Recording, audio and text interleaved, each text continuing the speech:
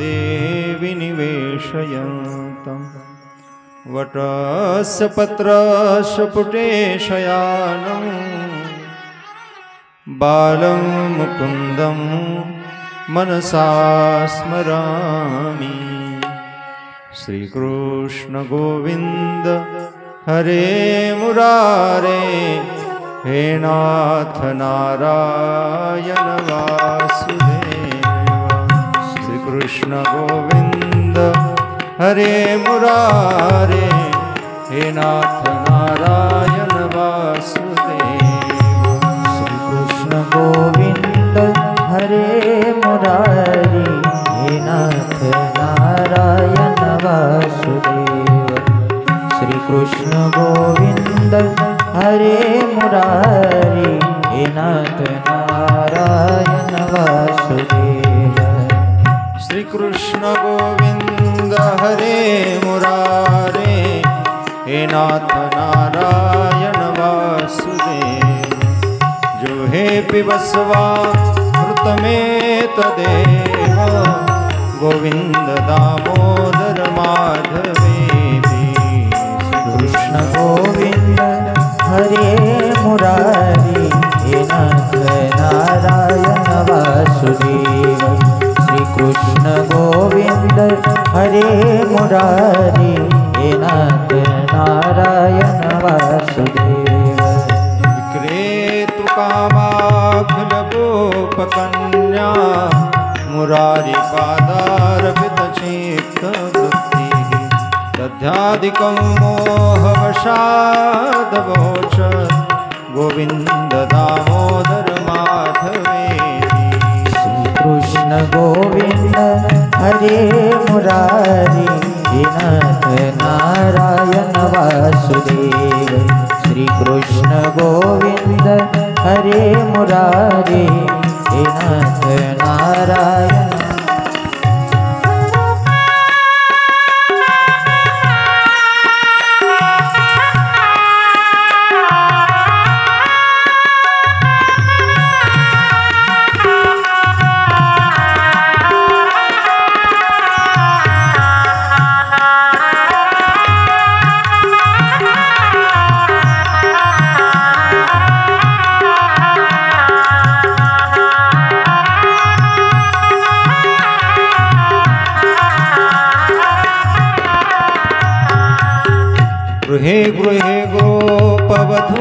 कदम्भा सर्वे मिलित्वा समवाप्य योगम्। पुण्यानि नामानि पठन्ति नित्यं गोविन्द दामोदर माधवेति। श्रीकृष्ण गोविन्द हरे मुरारी। हे नारायण वासुदेव। श्रीकृष्ण गोविन्द हरे मुरारे। नारायण वासुदेव सुखं शयानानिलये निजेऽपि नामानि विष्णो प्रवदन्ति मर्दाः ते निश्चितं तन्मयतां व्रजन्ति। गोविन्द दामोदर माधवेति श्रीकृष्ण गोविन्द हरे मुरारे।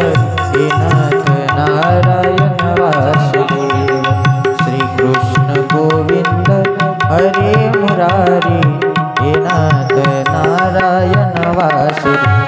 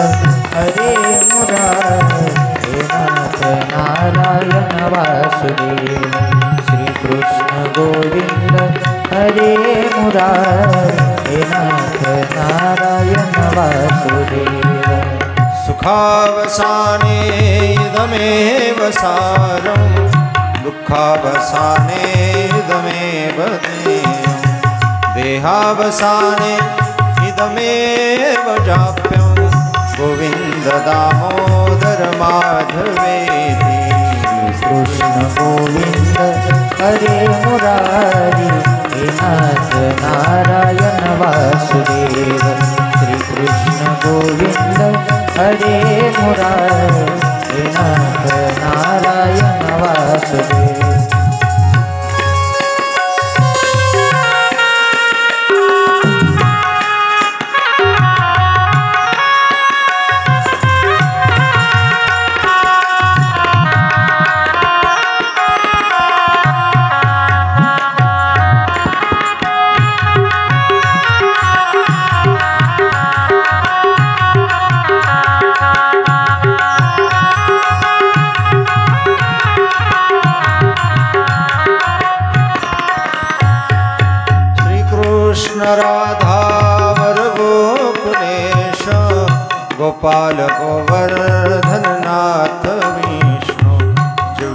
बसवा ऋतमे तदेव गोविन्द दामोदर माधवेति।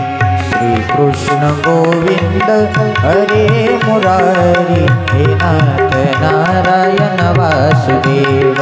श्रीकृष्ण गोविन्द हरे मुरारी हे नाथ नारायण वासुदेव। हे नाथ नारायण अथ कस्तुरीतिलकं ललाटपटले वक्षस्थले कौस्तुभं नासाग्रे वरमुक्तिकं करतले वेणुकरे कङ्कणं सर्वाङ्गे हरिचन्दनं सुललितं कण्ठे च मुक्तावली गोपश्रीपरिवेष्टितो विजयते गोपालचूडामणि कृष्णाय वासुदेवाय हरे परमात्मने। प्रणतक्लेशनाशाय। गोविन्दाय नमो नमः। श्रूयतां देवदेवेश नारायण जगत्पते। त्वदीनावधानेन कथयिषे शुभा कथाः तत्रैव गङ्गायमुना त्रिवेणी गोदावरी सिन्धुसरस्वती च। सर्वाणि तीर्थानि वसन्ति तत्र। यत्राच्युतदारकथा प्रसङ्गः वक्रतुण्डमहाकाय सूर्यकोटिसमप्रभ निर्विघ्नो कुरु मे देव। सर्वकार्येषु सर्वदा। सरस्वती नमस्तुभ्यं वरदे कामरूपिणी। विद्यारम्भं करिष्यामि, सिद्धिर्भवतु मे सदा। चिन्तासन्तानहन्तारो यत्पादाम्बुजरेः नवः स्वीयानां तान् निजाचार्यान्।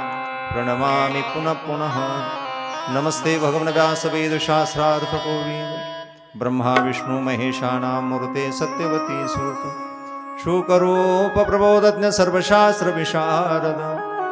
एतत्कथा प्रकाशेन मदज्ञानं विनाश। मनोजवं मारुततुल्यवेगं जितेन्द्रियं बुद्धिमतां वरिष्ठं वातात्मजं वानरयुथमुखं। श्रीरामदूतं शरणं प्रपद्ये। नागेन्द्रहराय त्रिलोचनाय भस्माङ्गरागाय महेश्वराय नित्याय शुद्धाय दिगम्बराय तस्मै नकाराय नमः शिवाय। सर्वमङ्गलमाङ्गले सर्वार्थसाधिके। शरण्ये त्र्यम्बके गौरी नारायणि नमोऽस्तु ते जयांची क्रिया स्मरण होय सकळविद्येचे अधिकरण तेचे बंधू श्रीचरण श्रीगुरूंचे। ते नमस्कारो नियता श्रीगणेशाय नमः। श्री सरस्वते नमः श्री गुरुभ्यो नमः श्री भगवते गोपालकृष्णाय नमः श्री नारदादी भागवतो नमो नमः। सर्व एकमेक हाताने टाळी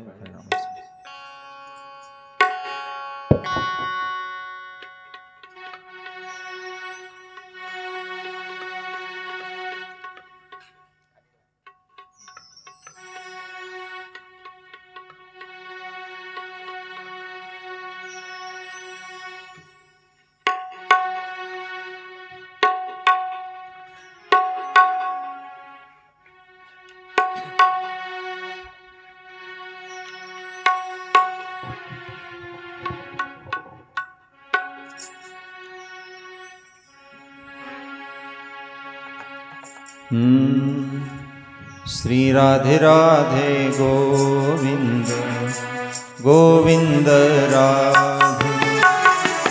राधे राधे गोविन्द गोविंद श्री राधे राधे गोविन्द गोविन्द राधे। श्री राधे राधे गोविन्द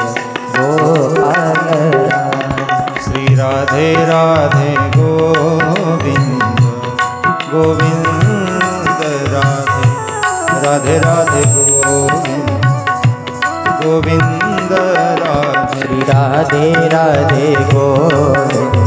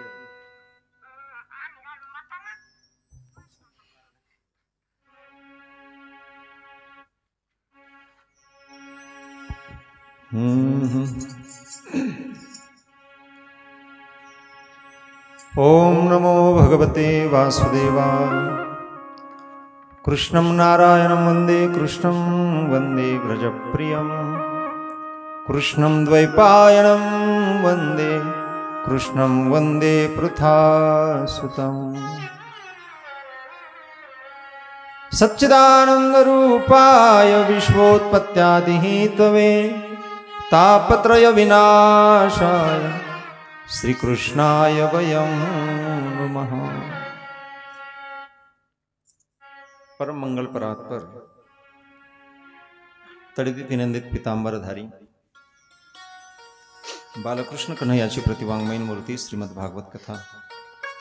या पवित्र कथा सत्रामध्ये आज तृतीय दिवसाच्या सेवेमध्ये भगवंताच्या अनुकंपेने या पवित्र सत्संगामध्ये आपण विराजमान आहोत. भगवंताची असीम कृपा आपल्या जीवनातील अनमोल वेळ आपण या भगवंताच्या सान्निध्यामध्ये घालवत आहोत. ही सद्बुद्धी भगवंताने आपल्याला देऊन एक सत्कार्य आपल्याकडून करून घेतोय. या भगवत कृपेने भगवंताच्या इच्छेने आपण सर्वजण भगवान शंकराच्या मूर्तीप्रमाणे ईश्वर स्वरूप होऊन समोर बसलेला आहात आणि या व्यासपीठावर या पामाराला बसून ही भागवताची सेवा आपण सर्वजण करत आहोत. आज कथेचा तृतीय दिवस आहे. जेवढं दूर जाता येईल तेवढं जाण्याचा प्रयत्न करू. आज दुग्ध शर्करा येऊ. आदरणीय परमपूजनीय परमश्रद्धेय. बाबांची उपस्थिती आज कथेच्या सुरुवातीपासून आहे. बाबांच्या चरणावर साष्टांग दंडवत आहे. ज्यांच्या मुखारविंदातून भागवताची संहिता या ठिकाणी गायली जाते वाचली जाते. असे आदरणीय परमपूजनीय कृष्ण महाराज शास्त्री यांचीही उपस्थिती आहे त्यांनाही धन्यवाद. त्यांच्या चरणावरही नमन आहे. जे संदेशदादा आहेत गावातील सर्व मान्यवर आहेत. कुणाचं काय नाव आहे कुणाचा काय अधिकार आहे काही कल्पना नाही. या कथेला साथ करण्यासाठी कीबोर्ड वादक म्हणजे गौरव महाराज आहेत आदरणीय हरिभक्तीपरायण तबला विशारद संदीप महाराज आहेत. आणि ज्यांची गायनाची साथ आहे हरिभक्तीपरायण अजय महाराज आज नवीन महाराज. त्यांची उपस्थिती आहे. ऑपरेटिंग करणारे ऑपरेटर ऑपरेटर दादा आपल्यापर्यंत आवाज पोहोचवण्यासाठी प्रयत्न करत आहेत. त्यांनाही धन्यवाद. आपणा सर्वांच्या चरणी नतमस्तक होऊन कालच्या विषयाचे एक मिनिटामध्ये सिंहावलोकन आणि पुढील विषयाला प्रारंभ. काल आपण या कथेमध्ये राजा परीक्षितीचा जन्म पाहिला. ज्या परीक्षितीच्या निमित्ताने ही भागवत कथा जगापर्यंत येते. आपल्याला ती कथा श्रवण करायला भेटते. शुकदेवांकडे असणारी ही संहिता त्या परीक्षितीच्या नामा निमित्ताने आपल्यापर्यंत पोहोचलेली आहे. काल आपण श्रवण करत असताना शुद्धांतकरणाने श्रवण करत आहात. सगळ्या विषयांचं अवलोकन करत आहात. आणि खूप जाणकार आणि अभ्यासू व्यक्ती पुढं आहे. की ज्यांचं खरं पाहिलं तर मी त्यांच्यापुढे बोलू नये असे समोर बसलेले सगळे व्यक्तिमत्व आहेत. पण तरीसुद्धा शुद्धांतकरणाने मोठं मन करून ऐकत आहेत. राजा परीक्षिती हा सर्व ऐश्वर संपूर्ण जीवन जगणारा होता. परंतु नुसतं ऐश्वर नाही. थोडं हॅमिंग येते. एखादी मशिनीचा आवाज कमी करून पाहतो सर्व बाजू उपलब्ध असूनही सर्व गोष्टींनी परिपूर्ण असूनही काही कमी नसताना मृत्यूकाळ आल्यानंतर आपलं काहीही चालत नाही हे राजा परीक्षिताची कथा शिकवते. निमित्त काय होईल? काहीही सांगता येत नाही. साधूने शाप द्यावा इथपर्यंत बुद्धीची लेवल कमी व्हावी इथपर्यंत जीवन घसरावं असा तर राजा नाही मग याला म्हणायचं का विनाशकाले विपरीत बुद्धी? कदाचित असंही होऊ शकतं. पण राजाला विपरीत बुद्धी सुचवायचं काही कारणही नाही. राजा तर परिपूर्ण आहे. पांडवांच्या कुळातला आहे. केवळ त्या ठिकाणी कलीचं महात्म्य वाढवणं कलीचं महात्म्य सांगणं यासाठी राजाची बुद्धी थोडीशी ढळली. ही कथा त्या बाजूने कल घेतली. कली हा आपल्या संसारामध्ये आल्यानंतर किंवा आपल्या जीवनात आल्यानंतर आपल्याला कुठल्याही पातळीला नेऊन पोहोचू शकतो. त्याच्या जर मनात आलं. आणि कलीने आपल्यावर परिणाम करू नये असं वाटत असेल तर कलियुगामध्ये आपल्याला विजय प्राप्त करून घेण्यासाठी एकमेव साधन आहे भगवंताचं नामचिंतन. कलौ तत् हरिकीर्तना. त्या कलियुगामध्ये जिंकायचं असेल तर हरिकीर्तन हरिभजन अत्यंत श्रेष्ठ आहे. काही साधना तुम्ही करू नका. काही नाही झालं तरी चालतं देवपूजाला वेळ देता येत नाही नका देऊ. कुठं तीर्थयात्रा करता येत नाही करू नका. यज्ञाधिक कर्म करता येत नाही करू नका. होत नाही तर काहीच करत नाही. होतंय तेवढं तर करतच राहावं. पण नाही होत तर कमीत कमी हरी हरी तरी करत राहावं. भगवंताचं नामस्मरण तरी करीत राहावं. कलियुगामध्ये आपल्याला विपरीत बुद्धी सुचणार नाही आणि भगवंताच्या नामाने आपल्यावर आलेला प्रसंग सुद्धा आपल्याला टाळता येईल ही अलौकिक शक्ती भगवत नामचिंतनात आहे. पण भगवत नाम अत्यंत श्रेष्ठ आहे. राजा परीक्षितेने कलीला जागा द्यायलाच नको होती. पण का जागा दिली? तर एकच कारण आहे कलियुगामध्ये हा श्रेष्ठ गुण आहे. कलियुगामध्ये आपल्याला भगवंताची प्राप्ती हरिकीर्तनाने होते. अन्य युगामध्ये अनेक साधनं करावी लागतात पण कलियुगामध्ये हरिचिंतनाने भगवत नामस्मरणाने भगवंताची प्राप्ती होते. एवढं श्रेष्ठ साधन हे नामस्मरण आहे. या सगळ्या गोष्टी जगाला कळाव्यात म्हणून या कथा आहे. राजा परीक्षितीला ही प्रेरित बुद्धी सुटली साधूचा अपमान केला. आणि साधूच्या अपमाना अपमानानंतर साधूने दिलेला शाप तो भोगावा लागणार. साधूचे शब्द कधी खोटे होत नाहीत.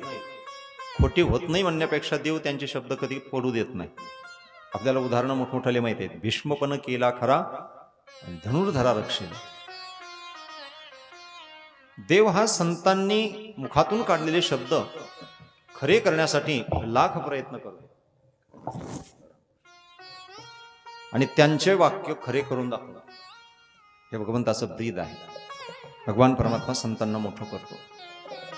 आणि देवापेक्षाही ते मोठे आहेत हे सिद्ध करून दाखवतात म्हणून प्रभू संतांच्या मुखातून शब्द जर चांगले निघाले तर आपलं कल्याण आहे.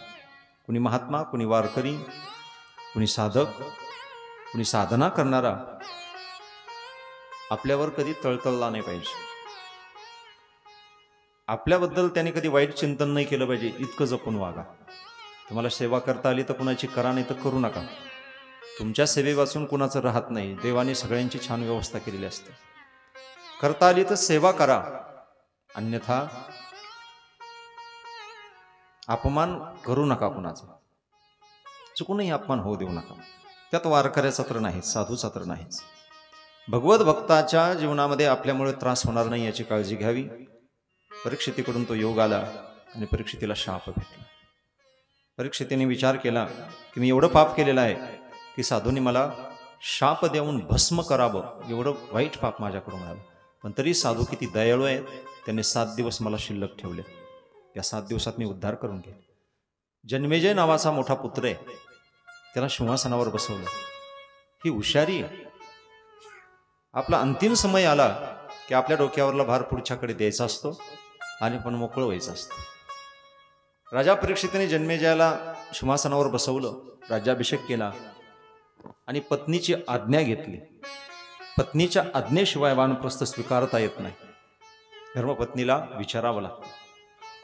जिने आपल्याला सर्वस्व समर्पण केलंय तिची आज्ञा घ्यावी लागते. पत्नीने विचारला हा निर्णय का? म्हणजे माझ्याकडे फक्त सात दिवस आहे आणि मला माझा उद्धार करून घेऊ दे. सगळ्यांची आज्ञा घेतली. आणि विशाल वटवृक्ष पाहिला गंगेच्या तीरावर. आणि राजा एकांतात जाऊन त्या वडाच्या झाडाखाली बसला. तुम्ही एकांतात बसल्यानंतर साधं जीवन तुम्हाला समोर दिसतं. आपण काय केलंय? आणखी काय काय स्वप्न आहेत? आपल्या काय चुका झालेल्या आहेत? म्हणून कधी कधी माणसाने एकांत साधला पाहिजे. कधीतरी बसलं पाहिजे निवांत फ्रेश.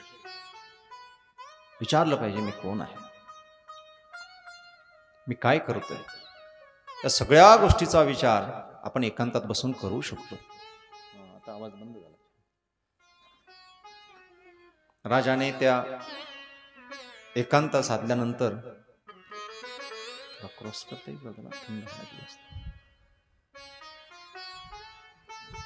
बंद राहिला तरीच आवाज धुपण येतोय ना त्याचं थोडा दूर येतो त्या हळदीचा नंतर करू पण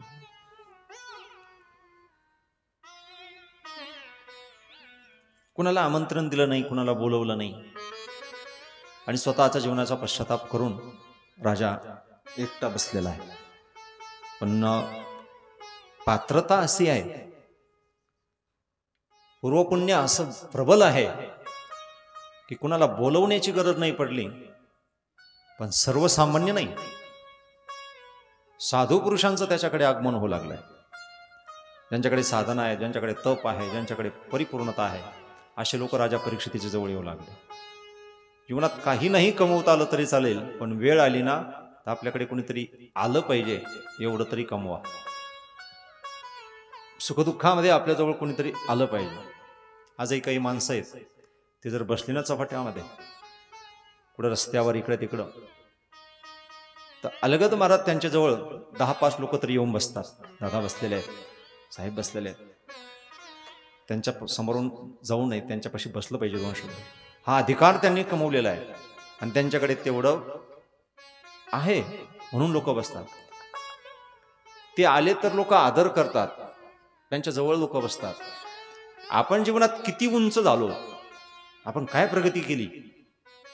बाहेरील लौकिक जीवनाचा विचार न करता अंतर्मुख होऊन कधीतरी विचारा मी जर जाऊन बसलो तर माझ्याजवळ लोक बसतात का उठून जातात? काही लोक आल्यावर लोक उठतात. चला ती पिढा आली इकडं. उठू उठू जातात. म्हणजे आम्ही नाही जगू शकलो. आम्हाला नाही कळलं व्यवहार ज्ञान. आम्हाला नाही कळलं काय आम्ही फक्त आमचा स्वार्थ पाहतोय आमचं कुटुंब पाहतो आमचा प्रपंच पाहतो. जे लोक जगामध्ये दुसऱ्यासाठी काहीतरी झटतात दुसऱ्यासाठी काहीतरी कार्य करतात दुसऱ्यासाठी काहीतरी वेळ देतात त्या लोकांची पूजा होते त्या लोकांचा आदर होतो आणि त्यांची कीर्ती होते. लोक त्यांच्याकडे येतात. राजाने आपल्या वाडवडिलांची परंपरा सांभाळली आणि प्रभू परमात्म्यावर पूर्ण विश्वास ठेवून राज्यकारभार केलेला होता. तिळ मात्रही माझ्यापासून कोणाला दुःख झालं नाही पाहिजे माझ्या शब्दाने कोणाला त्रास झाला नाही पाहिजे एवढं सुंदर जीवन जगलेला होता. आज वेळ अशी आली की तो एकटा आहे. पण एकटा पडल्याबरोबर समाजात तर सोडा समाज तर धावत पळत येईलच. पण जे कधीच कुणाकडे जात नाहीत असे साधू पुरुष राजाच्या जवळ येऊन बसले राजाला निहाळू लागले राजाचा चेहरा पाहू लागले. मरण अवस्थेत जो व्यक्ती पोहोचलेला असतो त्याच्या चेहऱ्यावरली उदासीनता पाहण्यासारखी असते. एखादा हॉस्पिटलमध्ये व्यक्ती ॲडमिट असेल तर कधी गेलात तुम्ही तर तुम्हाला पाहायला भेटतील अनुभव. की त्याच्या जीवनातलं ते सगळं स्वप्न भंग झालेलं असतं आणि उदास झालेला असतो की माहिती नाही मी हॉस्पिटलच्या बाहेर कसा जाणार आहे. माझं प्रेत जाणार आहे की मी जिवंत जाणार आहे. हे टेन्शन त्याच्या जीवनात असतं. राजा परीक्षित त्या अवस्थेला पोहोचलेला आहे. की आता काय होणार आहे माझं? पण प्रभू चरणावर पूर्ण विश्वास आहे आणि ज्या अर्थी साधू पुरुष आपल्याजवळ आलेले आहेत काहीतरी मार्ग निघणार नम्रतेने बोलवलं नाही बरं का कुणाला? पुन्हा एकदा सांगतो. हा सगळा समाज आपोआप आलेला आहे. कमवा महाराज आपल्यावर संकट आलं तर एखाद्या वारकऱ्याने तरी तुम्हाला विचारलं पाहिजे काय झालंय हो? कस काय वेळ आली? कस काय आजारी पडला? असं कुणाची तरी सेवा करा असं कोणाला तरी प्रेम द्या की त्या प्रेमामध्ये स्वार्थ नसला पाहिजे आणि कौतुकाची अपेक्षा नसली पाहिजे. जग एवढं प्रेम करतं महाराज तुमच्यावर काहीही वेळ येऊ द्या. अनेक लोक तुमच्या पाठीशी उभा राहतात. पण तुम्ही तेवढं निष्कामतेने प्रेम करून पहा. आपण कुणावरही प्रेम करतो त्याच्यामध्ये अनेक स्वार्थ लपलेले आहेत आपले. आमचं कौतुक व्हावं. हे व्हावं ते व्हावं. त्याच्या आठवणीत राहावं. काही लोक आजही परोपकार करत राहतात ना महाराज? इतकिंचितही परतफेडीची अपेक्षा ठेवत नाही. आपण कुणाला चहा पारला तरी अपेक्षा ठेवतो की याने मला परत पारला पाहिजे. आमच्या माता भगिनीला तर खूप सवय एखादी नेसवली ना कुणाला? आलं त्यांच्या लक्षात. मी जशी नेसवली ज्या किमतीची नेसवली तिला घरी आल्यावर तिच्या घरी गेल्यावर तशी नेसवेल का ती? मला घालेल का ती साडी? आणि त्याच लेवलची दिली जाते आपल्या घरी आल्यावर. माहिती पक्क हिच्याकडे गेल्यानंतर ही सुद्धा अशीच देणार आहे ना मग आपण कशाला भारी द्यायची? पहा किती पुढचा भविष्याचा विचार आहे. एखादी माझी माऊली एखादी ताई म्हणते का जाऊ दे गरीब आहे. माझ्याकडे मस्त पडल्यात किती काही. घालणं पण होत नाही. आणि चांगली भरजरी आहे चांगली सुंदर दिसते. मला तर घालणं होत नाही ही गरीब आहे हिला कधी भेटायची? असं म्हणून देऊन टाकते? नाही देत महाराज. घड्या घालू घालू त्या कपाटामध्ये ठेवत राहते भले घड्यावर फाटून का जाणार उद्या घालील उद्या घालील म्हणून तशाच राहतात पण घालणं होत नाही. पण कधी दुसऱ्याला देण्याची इच्छा होत नाही अपेक्षा होत नाही. करा प्रेम महाराज जगावर लोकावर निरपेक्ष भावनेने करा. वेळ देता येईल तेवढा द्या. राजा परीक्षितीने हे सगळं कमवलेलं होतं. साधू पुरुषांचं आगमन आहे. त्यातही आश्चर्य असं आहे. सगळ्यांना विचारतो मी काय केलं पाहिजे? नाही सांगता येत राजा. पण शुकदेवांचं आगमन झालं आणि सगळ्यांनी पाहिलं जो महात्मा कुणासाठीच येत नाही निसंग परित्यागी आहे. एवढा त्याग आहे की कोपिन परिधान केलेली आहे. चेहऱ्यावरलं तेज पाहिलं तर संसारिक त्याच्या नजरेला नजर लावू शकत नाही. दिव्य पुरुष आहे आणि यांचं आगमन तुमच्याकडे होतं. राजा हे जर महात्मे तुझ्याजवळ थांबले यांचा जर सत्संग घडला तर तुझा उद्धार निश्चित आहे. का? तर संतांच्या संगतीत बसल्यावर कळतं बरंचसं जीवन. आपल्याला एक प्रमाणही माहीत आहे. बैसता संताचे संगती कळो आले कमळापती आपुले कोणीच नव्हती निश्चय चित्ती दृढ झालं. हे संत संगतीत कळतं. संत शिकवतात आपल्याला दादा. हे सगळं सोंगे हे सगळं ढोंगे. हे नाटक आहे सगळं. बाकी काही नाही. क्या लेके आया बंदे क्या लेके जाएगा.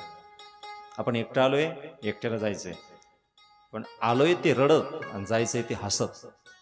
जब हम पैदा हुए हम रोए जग हसे. कबीरा ऐसी करणी कर चलो हम हसे जग रोय आम्ही गेलो तर जगाने रडावं पण आम्ही हसत हसत जावं. संत शिकवतात. संतांच्या बैठकीत बसल्यानंतर कळतं आपण कोण आहोत. या महात्म्यांची संगत घडली की बस कल्याण झालं. राजाने आल्याबरोबर लोटांगण घातलं दंडपद घातलं आणि चरणाला मिठी मारली की महाराज आता तुमच्याशिवाय मला कोणी नाही. माझा उद्धार करा. शुकदेवांना व्यासपीठावर बसवलं उच्च सिंहासनावर आणि शुकदेवाच्या मुखातून भागवत कथा ऐकायला महान महान ऋषी आहेत महाराज. तिथं तर वर्णन असं आहे व्यास महर्षी समोर बसलेले आहेत. कोण? शुकदेवांचे पिता असतात. एवढंच नाही व्यासांचे वडील. म्हणजे शुकदेवांचे आजोबा पराशर ऋषी. हे सगळ्यांचं आगमन तिथं आहे. आणि शुकदेवांच्या मुखातून कथा ऐकताय. की आमचा उद्धार होणार आहे हे काहीतरी विशेष ऐकायला भेटणार. ज्येष्ठ श्रेष्ठ मंडळी समोर बसलेले आहे आपण कुणाच्या समोर ऐकायला बसल्यानंतर आपला मोठेपणा सोडून देऊन आपण श्रवण करत बसलं की काहीतरी फायदा होतो. पण त्या वक्त्यापेक्षा मला जास्त कळतंय हा भाव ठेवला की त्याच्यात चुका दिसतात. श्रद्धा ठेवली की काहीतरी विशेष नवीन पूर्ण आपल्याला काहीतरी भाव एखादा ऐकायला भेटतो एखाद्या कथेतला एखाद्या दृष्टांतातला. पण मी श्रेष्ठ आहे असं समजलं की मग नाही भेटाय सगळ्यांनी लीनता स्वीकारलेली आहे आणि सर्वजण बसलेले आहे राजाने विचारलं महाराज माझ्याकडे फक्त सात दिवस आहेत. कायच करू सांगा ना? डॉक्टर चांगले भेटले की आजार लवकर कमी होतो सुंदर जीवन होतं. म्हणजे चिंता करू नको. खटवांगो नाम राजर्षी अरे ज्याच्याकडे एक तास राहिला त्याने एका तासात उद्धार करून घेतला. तुझ्याकडे तर किती दिवस आहेत? सात दिवस आहेत आणखी. चिंता कशाला करतो? हे शब्द ऐकले आणि राजाला मोठा धीर आला. माझ्याकडे तर किती दिवस आहेत? सात दिवस आहेत पहिल्याने वाटत होतं फक्त किती दिवस आहेत? सातच दिवस आहेत. फक्त सात दिवस आहेत. आणि एका तासातही उद्धार होतो हे कळालं की आणखी सात दिवस आहेत. म्हणजे भरपूर वेळ आहे मला. हा विश्वास प्राप्त झाला. आणि विचारला महाराज आम्ही काय केलं पाहिजे? मी काल स्पर्श करून गेलो. थोडे पात्र आल्यामुळे आपल्याला थोडं लवकर उरकावं लागलं. जितासनो जितश्वासो श्वासो जित संगो जितेंद्रिय. आसन जिंकायचं आहे थोडं निवांत बसायची सवय लावा. कामाचा व्याप तर आहेच आणि केल्याशिवाय पर्यायही नाही. आपल्याला करावं लागणार आहे. जोपर्यंत जबाबदारी आहे तोपर्यंत छान करत जा महाराज. पैसा कमवू नका संसार सोडा असं कुठंच बोललेलं नाही. पैसा कमवणं चार चार पुरुषार्थापैकी एक पुरुषार्थ येतो कमवला पाहिजे भरपूर कमवा. पण कधी कधी आपल्या जीवनाचाही विचार करत जा कमवायचं कोणाला? आपल्याच जीवाला जर सुख नसेल आपण जर आराम नसेल भेटत तर मग ते करायचं कशासाठी? कधीतरी शांत बसण्याची सवय लावावा. बसलं की बसता आलं पाहिजे. तास दोन तास निवांत बसता आलं पाहिजे. सत्संग करता आला पाहिजे. आपल्याला जे माहिती आहे दुसऱ्याला सांगता आलं पाहिजे. बसता आलं पाहिजे. दोन तास तरी कमीत कमी. आपला अहंकार आपल्याला बसू देत नाही. आपल्या पुढचे स्वप्न आपल्याला बसू देत नाहीत. म्हणून आसन पहिलं सांगितलंय आसन जिंकता आलं पाहिजे. बसता आलं पाहिजे. चंचलता स्थिर झाली की माणूस बसतो. आणि जो व्यक्ती जास्त चंचल आहे त्याचं बसणं शक्य नाही. आणि हे मन एवढं चंचल आहे आपलं इथं बसल्या बसल्या अनेक विचार करत राहतात. उद्याचं सारं नियोजन बसल्या बसल्या लागत राहतं. उद्या कसं करायचं काय? खूप चंचल आहे. या मनाची सेवा मनाचा वेग शास्त्राने खूप मोठा वर्णन केलेलं आहे. भगवानही सांगतात की अर्जुना चंचल मी मन कृष्ण प्रमाणात बलवत अति चंचल. या मनाला स्थिर करण्याची ताकद महाराज या कृष्ण कथेमध्ये अनुभव घेऊन पाहिला तुम्ही किंवा पाहत असाल एकदम स्थिर होऊन जातो व्यक्ती. चंचलता संपून जाते. पावर आहे. फक्त विश्वास पाहिजे आणि श्रद्धेने श्रवण पाहिजे.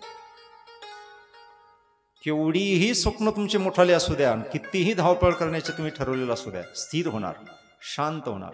याचा अर्थ तुम्ही मंद होणार असं नका समजू. स्थिरता प्राप्त होणार. शांत होऊ शकतो. हे चंचल मनाला स्थिर करण्याची पावर आहे. याला हाणून मारून ठोकून थांबवावं लागणार आहे. हे मन किती चंचल आहे किती चपल आहे? सुभाषितकाराने एक सुंदर वर्णन केलेलं आहे. सुभाषित आहे खूप सुंदर आहे. चंच अं, मरकटस्य सुरापान तस्य वृश्चिकदंशन तन्मध्ये भूतसंचारो यद्वा तत्वा भविष्य मरकट मरकट म्हणजे माकड. म्हणजे आधीच माकड म्हणजे वानर. किती चंचल असतं माकड? अति चंचल. सुभाषितकार म्हणले आधीच माकड. त्यात त्याला दारू पाजली. आता किती शांत बसत दारू पेलेलं माकड तुम्ही पाहिलं का? दारू पेलेलं माकड. बर माकड दारू प्यातानी नाही? कळणाराला कळ आधीच माकड आणि त्यात त्याला दारू पाजली. आता किती शांत बसत ते शांतच बसत नाही मग खाईन मारीन तोडीन कापीन सारखं उड्या मारत राहतात. आधीच माकड त्यात त्याला दारू पाजली आणि त्यात त्यात त्याला पुन्हा विंचू चावला आता तर पाहिजेच काम नाही. आधीच माकड त्यात दारू पाडली आणि त्यात विंचू चावला आणि शुभाशुतकार म्हणजे एवढ्यावर नाही थांबलं. तशात पुन्हा त्याला भूत लागलं. आता माकड कसं असेल? तसं आपलं जीवनही तसं आपलं मन आहे इतकं चंचल आहे. एवढं चंचल आहे महाराज इत इतकं चंचल आहे एवढं फास्ट आहे. तुम्ही कितीही रंगलेले असू द्या कितीही स्थिर झालेले असू द्या कुठंतरी थोडासा आवाज यावा थोडंसं काहीतरी दिसावं. पूर्ण भाव लगेच तिकडे निघून जातो आणि सगळा विसर पडतो. आम्हाला अनुभव आहे. आता तुमच्याकडे खूप पद्धत छान आहे. कथेला आल्यानंतर बसलं पाहिजे येऊन शांत. आमच्या खेड्यामध्ये कथा असतात दादा. आणि त्या खेड्यातल्या कथेमध्ये स्टेज असं थोडं समोर असतं एवढं बॅक नसतं त्याच्यामध्ये. ग्रंथ समोर असतो. मग उशिरा येणारी एखादी माता ती आल्यावर जागेवर बसून घेणार नाही. ते आल्यावर ग्रंथासमोर येणार. मग हळदी कुंकाचं काढणार. मग त्या ग्रंथाला कुंकू लावणार. फुले एखादं आणलेलं असतं ते ठेवणार. थोडी साखर असते ती शिंपडणार ग्रंथ खराब का होणार आणि मग हे सगळं तिचं आरामाने चालणार. आणि हे चालू असल्यानंतर आम्ही इकडे कथा सांगत असलो की तिचं ते चालू असतं. आणि बसलेले असतात ना ते तिच्याकडे पाहतात. एवढे चंचल असतात बसलेले तुम्ही इथं येत नाही म्हणून पा जर उशिरा एखादा आला ना समोरून इकून किंवा या रस्त्याने तर बसलेल्यांचं सगळ्याचं लक्ष त्याला त्या व्यक्तीला बसीपर्यंत तिकडं लागतं. नुसतं लक्षात लागत नाही. इतका उशीर कमवून आला असं कुठं गेलं तर काय नो कुठं बसतं काय नो आता ते बसेपर्यंत लोकांचं लक्ष लागतं तिथं. एवढी चंचलता. अति कठीण आहे. म्हणून आसन पक्क करा. थोडं बसायची सवय लागली की माणूस काहीतरी करू शकतो. मनाला स्थिर करण्यासाठी हे प्रयत्न आहे दुसरं पर्याय सांगितला श्वासावर विजय मिळवा. प्राणायाम वगैरे करत जा पूरक कुंभक्रियेच्या श्वास गेले संपले की आपण संपणार आहोत. तिसरं सूत्र सांगितलं संगत चांगल्यांची केली पाहिजे. काल आपण प्रमाण ऐकलं. मोठ्यांच्या संगतीत बसण्याचा प्रयत्न केला पाहिजे. त्यांनी ढकललं तरी बळच बसलं पाहिजे. बसून द्या ना तुमच्याजवळ. चार शब्द ऐकायला भेटतात चांगले पण आपल्याला चांगल्याची संगत नाही आवडत. हो, ज्यांचे भंगारा विचार आहेत हलकट गावाच्या साऱ्या टिंगल्या टवाळकी तिथं आपल्याला बसायला मजा वाटते आनंद वाटतो. सोडत जा यांची संगत चांगल्याच्या संगतीत बसत जा. आणि चौथं सत्र सांगितलं राजा इंद्रियावर विजय मिळवा. तुमची इंद्रिय तुमच्या ताब्यात असले पाहिजे. डोळ्याने काय पाहायचंय हे आम्ही ठरवायचं. आणि डोळ्याला तेच पाहायला द्यायचं डोळे तुम्ही घ्या रे सुख. पहा विठोबाचे हो. कानाने काय ऐकायचंय? सतत हेडफोन लावून काय ऐकताय? आता गळ्यातच होत आहे सगळ्यांचे. चोवीस तास कंटिन्यू ऐकत राहतात. काय ऐकायचंय? आम्ही ठरवायचं. तुम्ही ऐकारे कान माझ्या विठोबाचे हो. मनात येथे घाव धावगी. या इंद्रियांना आम्ही सवय लावायची. कथेत बसल्यानंतर कंटाळा येणार आहे झोप येणार आहे आळस येणार आहे या सगळ्या गोष्टी होत राहणार आहेत. कारण आम्ही विषयात रंगलेले माणसं आहोत. आणि रंगलेल्या माणसांना महाराज भगवत कथेमध्ये बसणं कठीण आहे. जो नेहमी श्रवण करणारा व्यक्ती आहे तो सहज बसू शकतो. दोन अडीच तास त्याला काहीच वाटणार नाही. पण जास्त विषयात रंगलेल्या व्यक्तींना असं एकांतात आणि एवढं स्थिर बसणं अत्यंत जड जाणारी गोष्ट आहे. कठीण आहे. खूप त्रास होणार आहे. पण जर का एकदा सवय लागली महाराज आणि कधी योग आला बसण्याची तर कधी कधी बसता बसता बसता कधी असा योग येतो असा स्वर्ण योग येतो आणि एखाद्या खूप मोठ्या महात्म्यांच्या समोर बसण्याचा योग येतो आणि त्यांचं एखादं वाक्य एखादं प्रमाण हृदयाला झटका देऊन देतं आणि जीवनाचा सर्व कायापालट करून टाकतं. मी कुंकड चाललो होतो आणि मी कुंकड जायला पाहिजे. मी कोण आहे? मी वासुदेव तत्वता. कळो येईल विचार येतात सर्व भ्रम दूर होऊन जातो. पण हळूहळू त्याच्यासाठी बसायची सवय लागली पाहिजे इंद्रियाला ताब्यात घेऊन पाहिजे. आळस आला तरी बळच बसलं पाहिजे. ती सवय लावावी लागेल. इंद्रिय आमच्या ताब्यात पाहिजे. देखना इंद्रियों के न घोड़े भगे इनमें हरदम ये संयम के कोड़े लगे. अपने रथ को उस मार्ग लगाते चलो कृष्ण गोविंद गोपाल गाते चलो. सवय लावा. या रथाचे इंद्रिय हे घोडे आहेत.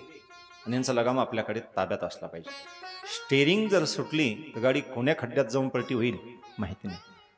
स्टेरिंग जर ताब्यात असेल तर गाडी व्यवस्थित रोडने चलेल. व्यवस्थित जाईल ती मुक्कामापर्यंत पोहोचवेल. पण स्टेरिंग सुटत असेल कधी मध्ये तर भरोसा नाही बरं का.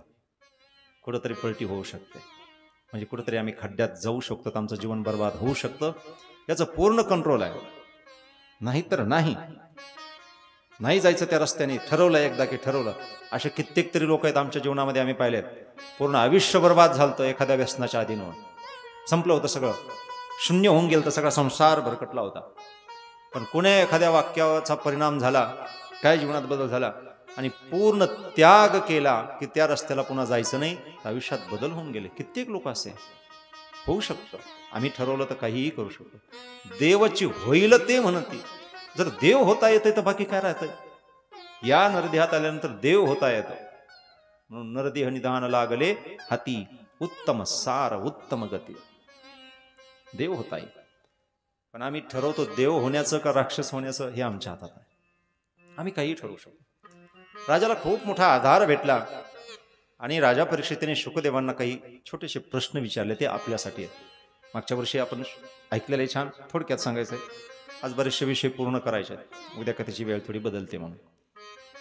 राजाने विचारलं महाराज मी एका उच्च कुळामध्ये जन्म घेतलेला आहे पांडवांच्या कुळामध्ये. ज्या ठिकाणी अखंड भगवत भक्ती चालू आहे आणि देव चालवेल त्या रस्त्याने चालणारे व्यक्ती आहे. देव ठेवील तैसे राहाल वेळ निभवत गेले. कसल्या प्रसंगाला सामोरं जाताना हपकले नाही घाबरले नाही काही नाही. त्या उच्च कुळामध्ये जन्म घेतला.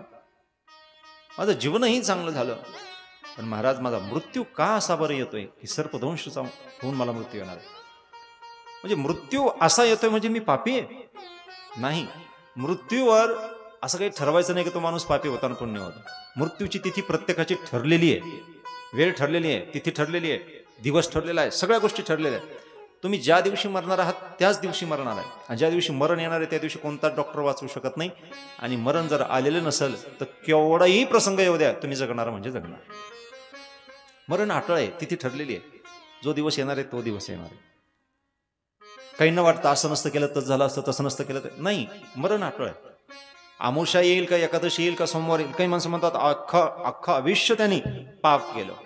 कधीच चांगलं वागला नाही आणि एकादशीला मेला हो. मरणाचा त्याचा काय संबंध? काही माणसं म्हणतात त्यांनी पुण्यच केलं सगळं परमार्थ करत राहिला आणि आमुषाला मेला. काय भूत होऊन तुमच्या मागं लागला? पण विचार करणारे काही विचार करतात. हा मरणाचा काळ हा ठरलेला आहे. तुम्ही एक उदाहरण ऐकलं असेल खूप छान आहे. एक मिनिटात सांगतो. मरण किती छान आहे. तुम्हाला मागंही सांगितलं असेल नसेल मला आठवत नाही. पण असं म्हणतात एकदा गरुडाची आई आजारी पडली.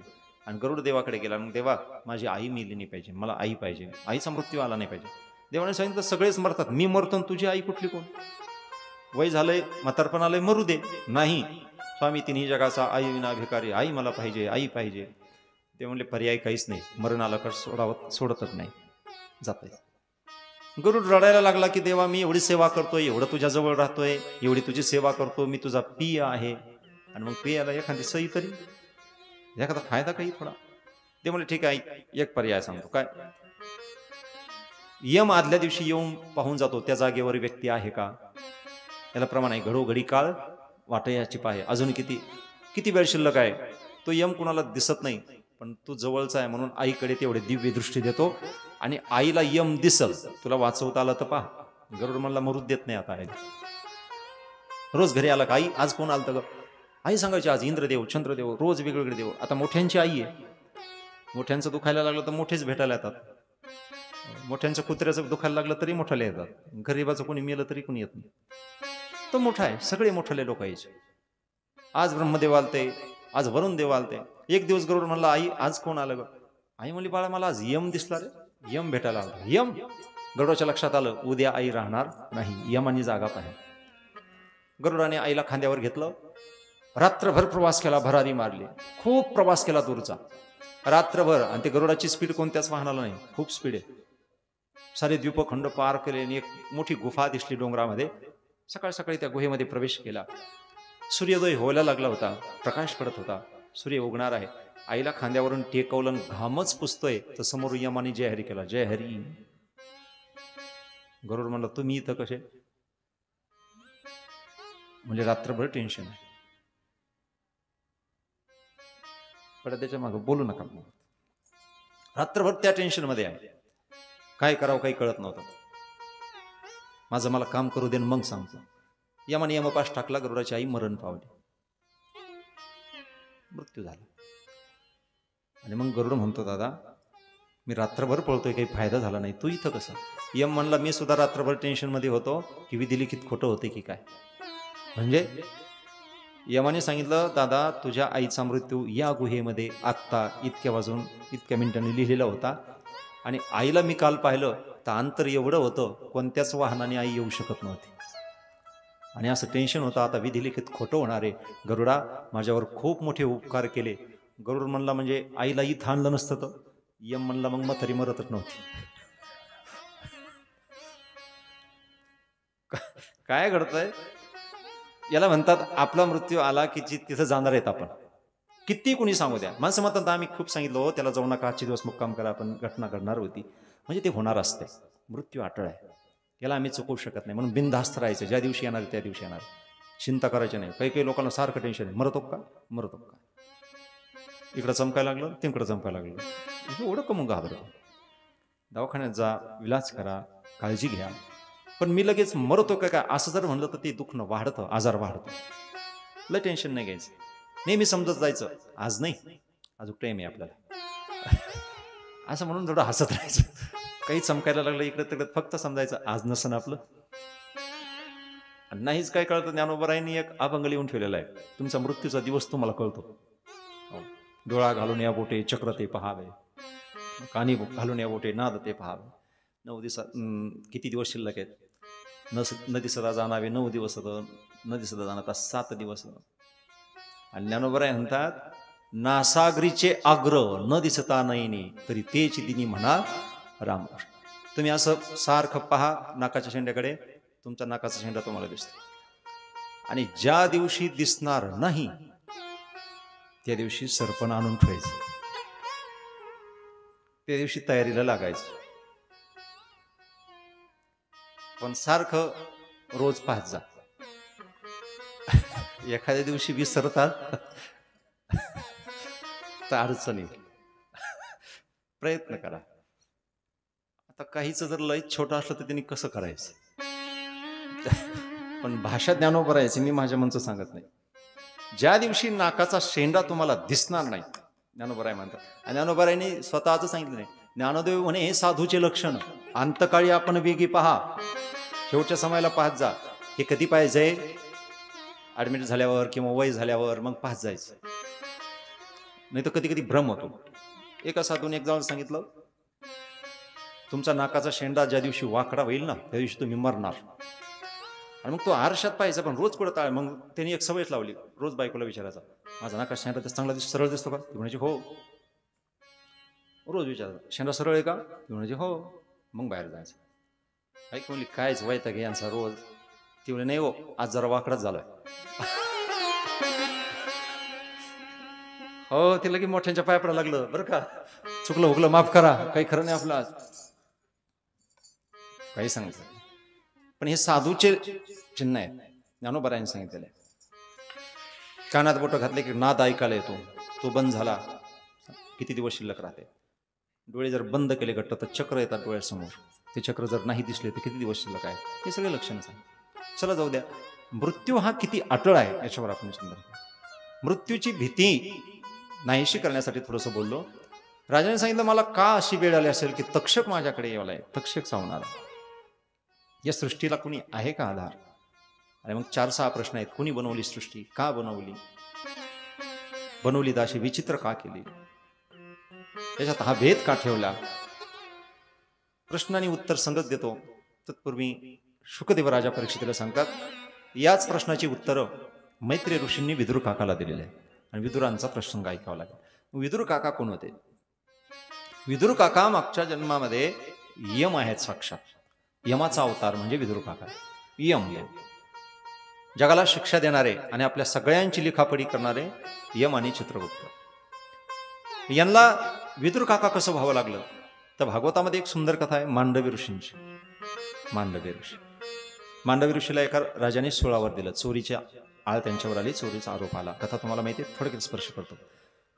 मग ती चोरीची शिक्षा म्हणून सोळावर दिलं. मांडवी ऋषी म्हणले मी पापच केलं नाही मला सोळावर जाण्याची वेळ आली. सूक्ष्म शरीर धारण केलं यम दरबार गाठवला. सांगा मला सोळावर का दिलं? यमाने सांगितलं काहीतरी पाप असेल महाराज भोगा आणि द्या सोडून. भोगतोय पण पाप सांगा. काहीच पाप नाही केलेलं मी म्हणजे पापाशिवाय शिक्षाच नाही महाराज काहीतरी केलं असं दाखवा आपल्या सगळ्यांच्या फाईल असतात तिथं. वर आपल्या सगळ्यांच्या फाईल बरं का कोण्या दिवशी काय दिवा लावलाय सरळ लिहिलेलं आहे. सगळ्यांची सूक्ष्म कर्माची सुद्धा लिखापडी आहे. चित्रगुप्तांनी फाईल काढली आणि सगळे पाहू लागले. हो कमी वयापर्यंत येत आले पन्नास वर्षापर्यंत आले पाप नाही. मुंगी मारल्याचं पाप नाही. पंचवीस वर्षापर्यंत आले पापच नाही कसंच पाप नाही. यमाला घाम फुटला जर याचं पापच काही नसेल आणि सोळावर दिलंय तर आपल्याला आता शाप भोगावा लागला. पान उलटत गेले पाच वर्षाच्या आतमध्ये एक पान उलटलं लाल अक्षरामध्ये एक पाप लिहिलेलं सापडलं. म्हणजे महाराज सापडलं. काय पाप आहे? तुम्ही खेळता खेळता म्हणले मुलांच्या संगतीत. जंगलामध्ये फिरताना एक ते हिवराचं झाड असतं. तुमच्याकडे आहे का नाही का हिवराचं झाड? त्याच्यावर रंगीत भुंगा असतो. तो भुंगा तुम्ही घेतला त्याचा पाय तोडला आणि पाय तोडून त्याच्यामध्ये काटा वळून ती शेंग एक गुंतून त्याचा काय केलं जातं? जुन्या माणसं तुमच्याकडे काय म्हणते त्याला? भिरभिरा? हो भिरभिरा. काही भागामध्ये पाच पिंगा म्हणतात कोणा भिरभिरा म्हणतात. म्हणले किती बाऱ्या केला? म्हणले एकदा भिरभिरा केला. भिरभिरा करणं म्हणजे भुंग्याच्या पायामध्ये फक्त काटा टोचणे. काटा एवढा पॅक गुंततो की तो उडायला जातो उडता येत नाही म्हणून त्याचा आवाज येतो बंग बुंग असा आणि लेकराला गंमत वाटते. लेकरं पाहतात आनंद घेतात त्याचा. म्हणले किती वेळा भिरभिरा केला? म्हणले एकदाच. एकदा भिरभिरा केला तर सोळावर जावं लागलं. म्हणजे हो. तुम्ही कथा नाही काही देण्यात राहिले तर अशा कथा लक्षात ठेवी जा. भागवत नाही लक्षात राहणार पण या कथा खूप शिकून जातात. काय केलंय? फक्त एकदा? एकदा भिरभिरा केला. भिरभिरा केला म्हणजे भुंग्याच्या पायात काटा त्याचा पाय मोडून त्याच्यात पा- काटा पडला मारलं नाही त्याला जीवाच फक्त काटा ठोसला. तर सुळावर जावं लागलं. पुन्हा एकदा सांगू भुंग्याच्या पायात फक्त काटा ठोसलाय तर सुळावर जावं लागलं. आपलं कसं आहे? तुमचं नाही माहिती पण मला सुद्धा भीती वाटते. मी दोन चार बाऱ्या भिरभिरा केलेला आहे लहानपणी इकडे तिकडे खेळतो माझा तुम्हाला हसवालं तुमचं कसं आहे? आमच्या घरी ते मुंग्या मारायचं एक खडू आहे. तुमच्याकडनं संपवणार.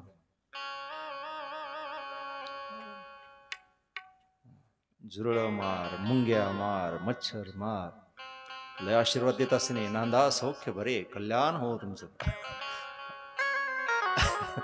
मग मारायचेच नाही काही. हे त्रास देणारे तर मारावे लागतील. पण याचा दोष कशा लागणार नाही हेही भागवतात सांगितलेलं आहे. पुढे आपण ऐकणार आहोत. ही हत्या घडली हे पाप घडलं की आम्हाला भोगावं लागणार आहे सोळावर जावं पण ते पंचवर्षांनी लालयत दश वर्षांनी पाडायत ताडायत हे जे शास्त्र सांगितलं ना तर पाच वर्षाच्या आतल्या लेकराकडून काही पाप झालं तर त्याचा दोष नाही लागत. स्वप्नात देव शिक्षा देतो आणि फिरून घेतो. एखादा लेकरू स्वप्नात जास्त रडायला लागत असेल आरबळत असेल मोठ्याने ओरडत असेल तर कोणी देवलाशाकडे दाखायची त्याची गरज नाही. समजून घ्यायचं आहे दिवसभर मुंग्या मुंगळे मारतय. देव त्याला स्वप्नात शिक्षा देतो. आणि पाच वर्षाच्या पुढं मात्र मग ती शिक्षा जागृतीत दिली जाते आणि म्हातारपणी दिली जाते. मरायच्या अगोदर ते फेड फेडून घेतलं जातं आणि मग मृत्यू येतो. मरण्याच्या आधी आपल्याला काय काय फेडावं लागन ज्याने त्याने कधीतरी विचार करा एकांतात बसून की आपण काय काय केलेलं आहे. ते सगळं फेडायचं बरं का. पूर्वी होतं ते. मेल्यानंतर मग नरकन ते.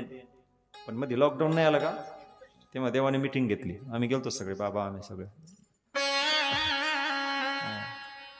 देवाने निर्णय घेतला. ते लोक नरकाला त्याला भेट नाही येतात म्हणले आता. मग आज ज्याने करायचं त्याने इथंच फेडायचं आणि मग मरायचं. त्याच्याशिवाय मृत्यू सुद्धा येत नाही. शिल्लक राहिलं काही तरी फेडल्याशिवाय मग काही काही माणसं म्हणतात ना भयानक संकट आलतं. वाईट दिवस आलते. पण जगले. आणि लोक म्हणतात त्यांचे कशाचे दिवस होते? काय म्हणजे त्याचे खाय प्यायचे दिवस आहेत. कशाचे खाय प्यायचे हा भोग आहे आता. उरलेला भोग शिल्लक होता म्हणून मृत्यू आला नाही. मृत्यू एवढ्या जवळ आलेला होता. भयानक प्रसंग आहे. माणसं म्हणतात गाडीचा एवढा चेंदा झालाय. गाडी एवढी हे झाली आणि माणूस जगला कसा? कसा जगला? तर काहीतरी शिल्लक आहे. मग चांगले भोग असतील किंवा वाईट असतील? काही काही माणसं म्हणतात काहीतरी दिवस चांगले होते देवा आमच्या नशिबाने. म्हणून आम्ही राहिलोय. चांगलेही असू शकतात. पण कधी कधी वाईटही दिवस असू शकतात त्यासाठी मृत्यू आलेला नसतो. मृत्यू जर आला सहज जर मृत्यू आला ज्या व्यक्तीला चालता बोलता मृत्यू आलाय महाराज तुम्हाला काय म्हणायचं तर म्हणा पण खरंच भाग्यवान माणूस आत्ती नशिबवान आहे. सहज सहज बोलता बोलता गेलेत काही काही लोक. आणि काही काहींना खूप दिवस पडावं लागलंय. तो रोग सहन करावा लागलाय. काही माणसं आपल्या जीवनात आपण पाहिलेत की त्यांच्या अंगामध्ये हो, फार जखमीवर आळ्या होतात कोणी सेवा करायला नसतंय. असाही काही त्रास भोगाला हे फक्त भोग आहे. याला म्हणायचं असतं केले कर्म झाले. कोणताही त्रास असू द्या. कोणावर ढकलू नका. की माझा भोग आहे आणि तुम्हाला भोगायचा आहे. आणि आणखी सोड थोडं सांगू? माफी मागून? किती वाईट प्रसंग येऊ द्या हो तुमच्यावर. महाराज हसतमुखाने त्याला सामोरं जा. कारण ते दुसऱ्याचं नाही ते माझं आहे. आणि ते मला भोगून संपवायचं योग उलट चांगला असा आहे की देवाने नियम काढलाय ते भोगून संपवायचंय. नाहीतर कित्येक जन्म महाराज ते फेडायत बसावं लागतं. तुम्ही एक प्रसंग ऐकलेला असेल पंढरपूरच्या घाटावर ते भिकारी असतात ना गंगे तीरावर आंधळ्याला बाबा पांगळ्याला कोणाला बोटं नाहीत कोणाला हात नाही कोणाच्या जखमा विचित्र येत नाही तसं तिथं एक बसलेला होता त्याच्या अंगावर अशी जखम होती मोठी हाताला कापड तरी. त्याच्यातून अशा आळ्या निघायच्या. इतकी किळस यायची लोकांना पाहून. पण जगाचा वाद परमात्मा विटेवरून रोज उठायचा उतरायचा. आणि त्या भक्ताजवळ जाऊन त्याची जखम साफ करायचा. आणि त्याला पट्टी बांधून देव पुन्हा विटेवर यायचं. रुक्मिणी आई साहेबांनी विचारलं का हो तुम्ही रोज कुठं जातात? म्हणले माझा एक भक्त आहे त्याला खूप त्रास आहे त्याचा त्रास कमी करण्यासाठी. ती म्हणली मला पण यायचं रुक्मिणी तू पाहू शकणार नाही. मी येणार. श्री हट्ट आहे. रुक्मिणी आई साहेबांनी हट्ट धरला आणि देव तिला घेऊन आले दुसऱ्या दिवशी. रुक्मिणीने ती जखम पाहिली. रुक्मिणी साहेब घाबरल्या. किती देवा तुम्ही कसं काम करताय? देवाने सांगितलं तो माझं नामस्मरण करतो ना. आणि तुम्ही पहा वेळ आल्यावर माणूस मी काल म्हणतो ना अंगाला आला तापतं. वेळ आल्यावर लय मनातून देवदेव करतो. बारीत एक बसलेला व्यक्ती असतो बा. आता आमचं थोडं दाट जाणं होतं. मला नाही करमलं की मी गाडी काढतो पंढरपूरला जातो. देवाला पाहिल्याशिवाय करमत नाही. महिन्यात दोन महिन्यात काही माणसं महिन्याला वारी करतात. नशीबवान आहे जर तिकीट झालंय तुमचं कमी तर घ्या फायदा. तुम्हाला तर म्हणते फुकटच झालंय. तर तिकीट कमी झालंय फुकट झालंय तर काही लोक तिसराच फायदा आमच्या गाडी एका पाहुण्याकडे गेलो मी. आमच्या गावापासून जवळजवळ तीस पस्तीस किलोमीटर एक दुसरं गाव आहे तालुका. तालुक्याचं गाव शेवगाव वगैरे आहे. पाहुण्याकडे गेलो, म्हणलं कुठे गेले? म्हणजे चहा घ्यायला गेले. म्हणलं कुठं हॉटेलवर गेले असतील? म्हणलं हॉटेलवर का? गेले नाही. तालुक्याला. चहा घ्यायला. म्हणले हो. म्हणलं का? एस टी फुकट आहे. इथं काय घ्यायचं तिथं घेऊ. मात्र चहा घ्यायला जातात जिल्ह्याला. आणि या मार्गे गाडीला गर्दी असली की त्या मार्गे निघायचं त्याला काही टेन्शन नाही. फुकट झालं तर फायदा घ्या जात जा पंढरपूर. त्या घाटावर असे बसले राहतात खूप मनातून काही काही म्हणताना दिसतात आपल्याला. डोळे बंद करतात कोणी टाको न टाको पाहत नाही. पण प्रभूचं नाम एकदम मनातून घेत राहतात. विठ्ठला पांडुरंगा मोठ्याने म्हणतात. किंवा आली पाहिजे आपल्याला बरं का? खिशात हात गेला पाहिजे रुपये दोन रुपये टाकले पाहिजे. कारण देवाने आमच्यावरती वेळ आणली नाही म्हणून तरी कमी कमी प्रभूचे खूप उपकार आहेत की आम्हाला सगळ्या सुखसुविधा देवाने दिल्यात. भगीरपणा नका येऊ जो दली लय अहंकार होऊ देऊ नका. पाहत जा या लोकांकडे. ए सीमध्ये बसणाऱ्या लोकांनी कधी काही पत्र्याच्या घरातल्या लोकांना पाहिलं पाहिजे की देवाने आपल्यावर किती उपकार केले. अनंत उपकार आहेत देवाने मला सगळ्या सुखसुविधा दिल्या. यांच्याकडे पाहून हसलं नाही पाहिजे. किंव आली पाहिजे की देवाचे किती उपकार आहेत माझ्यावर वेळ नाही आली देवाने मला हे जीवन नाही दिलं. रुक्मिणी ते पाहिलं रुक्मिणी असं मला नको नको इथून चला लवकर. ती जखम बरणी केली. आणि रुक्मिणीने तिथं गेल्यानंतर देवाला विचारलं का हो स्वामी? रोज जाताना त्याची जखम तुम्ही बरी करता त्याला मलमपट्टी करता त्याचे त्या जखमीतले किडे काढता. तुम्हाला काही वाटत नाही? काही नाही माझा भक्त येतो भक्ताला की मी काहीही करतो. आणि तुम्ही अनेक उदाहरणं ऐकलेली आहेत. मला सांगत बसायला पुन्हा वेळ जाईल तिकडे. भक्तासाठी काही करतो. रुक्मिणी आईसाहेब म्हणल्या तुम्ही जर एक नजर टाकली कृपेची तर त्याची जखम पूर्ण बरी होईल आणि व्यवस्थित होईल. मग रोज मलमपट्टी करण्यापेक्षा रोज साफसफाई करण्यापेक्षा एकदा कृपादृष्टीने पाहणं त्याच्याकडे. तुम्ही काय करू शकत नाही? खरं तुम्ही करतो अन्यथा करतो शक्ती तुमच्याकडे आहे. तुम्ही काहीही करू शकतात तर मग ती जखम बरी का करत नाही? देवाचं उत्तर ऐकण्यासारखं आहे. मोठ्या महात्म्यांच्या मुखातून ऐकलेलं उदाहरण आहे. माझ्याकडे पुरावा नाही आला पण खूप छान आहे म्हणून सांगितलं. देवाने उत्तर खूप छान दिलं रुक्मिणी याची जखम मी नुसती नजर टाकली तरी बरी करू शकतो. पण का बरी करत नाही माहिती या जखमीचा त्याला त्रास झाला पाहिजे. का? तर हा त्रास त्याला आत्ता जर नाही होऊ दिला आणि आत्ता जर त्याची ती जखम बरी झाली तर पुन्हा त्याला जन्म घ्यावा लागल. आणि असाच त्रास त्याला पुन्हा भोगावा लागला. म्हणून या जन्मातच त्याला भोगू दे आणि फेडू दे. कधी कधी देवाची सुद्धा इच्छा असते महाराज की आपण तो त्रास सहन केला पाहिजे.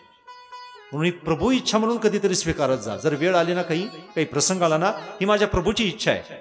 ही माझ्या देवाची इच्छा आहे की मी असं जीवन जगलं पाहिजे. माझ्या देवाने मला असं ठेवलंय. त्याचं कारण त्याची कृपा आहे. कधी विरोध करू नका देवाच्या नावाने कधी बोट मोडत जाऊ नका शिव्या देऊत जाऊ नका देवाला नाव ठेवत जाऊ नका. देवाने जो प्रसंग आमच्या जीवनात आणलाय तो अत्यंत छान आणलेला आहे. कृपा आहे त्या ईश्वराची की आमच्यावर तो प्रसंग आणलाय. किती वाईट असू द्या महाराज. कोणत्याही आजाराचा असू द्या. कोणताही त्रास असू द्या तुम्हाला. कोणत्याही दुखण्याचा त्रास असू द्या. प्रभूची कृपा समजायची आणि हसत मुखाने त्याला स्वीकारायचं. काही काही माणसं म्हणतात महाराज तुम्हाला काय कळतं गुडघे दुखल्यावर किती त्रास होतो? किती त्रास आहे गुडघे दुखल्यावर? बसता येत नाही उठता येत नाही. मी म्हणतो तरी सुद्धा चांगलंच आहे. काय चांगलं आहे? तुमचे गुडघे दुखत आहेत म्हणून तुम्हाला कोणीच काम सांगत नाही. हे काय कमी चांगलं आहे? नको हो त्यांना कमराने त्रास आहे त्यांना गुड त्यांना काहीच काम नका सांगू. का? ही प्रभूची काय कमी कृपा आहे? अहो जोपर्यंत तुम्ही धडधाकटात तुम्ही जे चांगले लोक आहेत त्यांना पा. जे काम करतात ना वय झालंय दिसत नाही पण काठी टेकट टेकत जातात शेतात आणि काहीतरी करत राहतात. आणि बाकीचे सुद्धा म्हणतात आहे ना मथर? आपलं जरा पाहता येते. म्हणजे भार आपल्यावर टाकून द्यायचा आणि जर देवाने आपल्याला सुट्टी दिली असेल ती प्रभूचीच कृपा समजायची. काम करून घेत असेल तरी बी असं काय समजू नका मला काम करून नाही नाही. देवाने तेवढं ठणठणीत ठेवलंय त्याचाही आनंद घ्यायचा. करत राहायचं कष्ट करायचे काम करायचं फिरायचं. जो प्रसंग येईल तो माझ्या प्रभूची कृपा म्हणून स्वीकारायचा. आनंदाने स्वीकारायचा. मृत्यू देवाने ही सृष्टी निर्माण केली यामध्ये मला मृत्यू तक्षक जाऊन येतो याची टेन्शन आहे. म्हणजे काहीच असं समजू नको. कुणाला कसाही येऊ शकतो. चांगली चांगली साधना करणारे महात्मे महाराज शेवटच्या क्षणाला कॅन्सर सारख्या रोगाने मेले. अपरमीच साधना होती त्यांची. काही जीवनात काही पाप केलं नव्हतं. पण भयानक रोग झाली आणि रोगाने मेले. मृत्यू कसाही येऊ शकतो? तो भोग आहे. मग विदुर काकांचा तो प्रसंग सांगत असताना यमाची यमाने जी शिक्षा दिली पांडव ऋषींना म्हणून शाप दिला मांडव्यांनी की अज्ञानपणातलं पाप आहे. म्हणून जा दाशीपुत्र होऊन जन्माला येशील माणूस होऊन गेल्यावर कळून तुला कसं जगावं लागतं? सांगणं लय सोपं असतं. वागणं लय कठीण आहे. सांगणारे खूप झालेत पण तसं वागणारे बोटावर मोजणे इतके. आणि आजही त्याचीच पूजा पूजा होते त्याचाच आदर केला जातो. बोले तैसा चाले त्याची हो, जसं बोलतो तसं वागतो माणूस की लोक आपोआप झुकतात नुसतं लोकांना नाही सांगा हे करा ते करा इकडून चटा टाका तिकडून काम करा. लोक म्हणजे आम्हाला सांगतो तू काय करू? तुम्ही कधीतरी एखादी चटई घेऊन टाकून पहा. लोक अरे ते टाका लागलेत. आपण टाकली पाहिजे. आपण स्वतः ते कर्म केलं की लोक परावृत्त होतात करत राहतात. दाशीपुत्र झाले विदुर काका. आणि मग कर्मभोग कळाला कसा असतं ते? कौरव पांडवांच्या मध्यस्थी जीवाने मला विस्तारित नाही करायची कथा. पण जेव्हा विदुर काकांच्या घरी भगवंताच्या जेवणाचा योग येतो कारण दुर्योधनाने ढकलून दिलं एकदा हकलून दिलं जा आमच्याकडे राहू नको आम्हाला शिक शिक शहाणपणा शिकवतो. केळीच्या बागामध्ये राहू लागले. पती पत्नी दोघं परमार्थ करू लागले. खूप खूप छान भजन करायचे. पती पत्नी दोघांनी जर अखंड नामस्मरण केलं भजन केलं एखादी साधना केली तर बारा वर्षाचं तप पूर्ण झालं की देव घरी येऊन दर्शन देतो.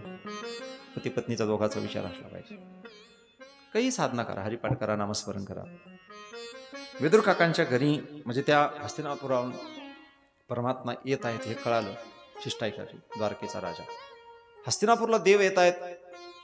विदुर काकांनी सांगितलं अगं कान्हा येतोय कृष्ण येणार आहे. मी चाललो दर्शनाला. ती म्हणली मी पण येणार. पण तू येणार कधी? तुझं आवरणार कधी? स्त्रियांना आवरायला वेळ लागतो. विदुर काका पुढे गेले. गर्दीमध्ये पाहत होते देव मला दिसतील का? आणि देव एवढ्या गर्दीत रथात बसल्या बसल्या शोधत होते माझा विदुर काका कुठं दिसतोय? का काकांना पाहिलं देवानी डोळ्यांनी खुणवलं काका. बरी का तब्येत? बरं चाललंय का? देवानी विचारावं हो एवढ्या गर्दीमध्ये. काकांचे डोळे भरून आले आणि काकाने खुणवलं प्रभू तुझ्या कृपेने विठ्ठला काही नाही उणे सगळं मजेत ज्यांच्या घरात खायला दाणे नाहीत संध्याकाळच्या जेवणाची पंचायत आहे. ते म्हणतात देवा तुझी छान कृपा आहे. आणि आपल्याला देवाने सगळं दिलंय सगळ्या गोष्टी दिल्या. तरी आपण देवाकडे जाऊन रडतोय आणि कधी आपला चेहरा रडकाच आहे. सगळं देऊन असं रडत नाही राहिलं पाहिजे. देवाने सारं दिलंय आणि तुम्ही जर रडत असताना देव असं एका दिवशी तोंड हाणीन. देऊन सुद्धा. ज्यांच्याकडे नाही ते खुश आहेत. रस्त्यावर राहणारे लोकांचे पहा आमरा चेहरे प्रसन्न आहेत. त्यांचे लेकरं उड्या मारतात टनाटन खोकडे अंगावर कपडे नाहीत. सर्दी होत नाही आणि खोकला येत नाही. आणि आपलं बबडन छबडन काढायचं डबडन इकडं नको तिकडं नको जाऊन तरी नाक गळतच आणि ताप आलीच.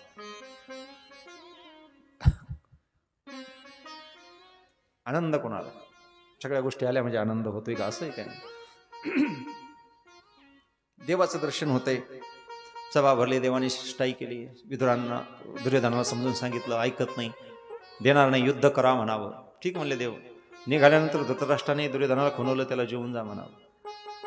देवाने सांगितलं जेवणाचा योग तुझ्याकडे नाही.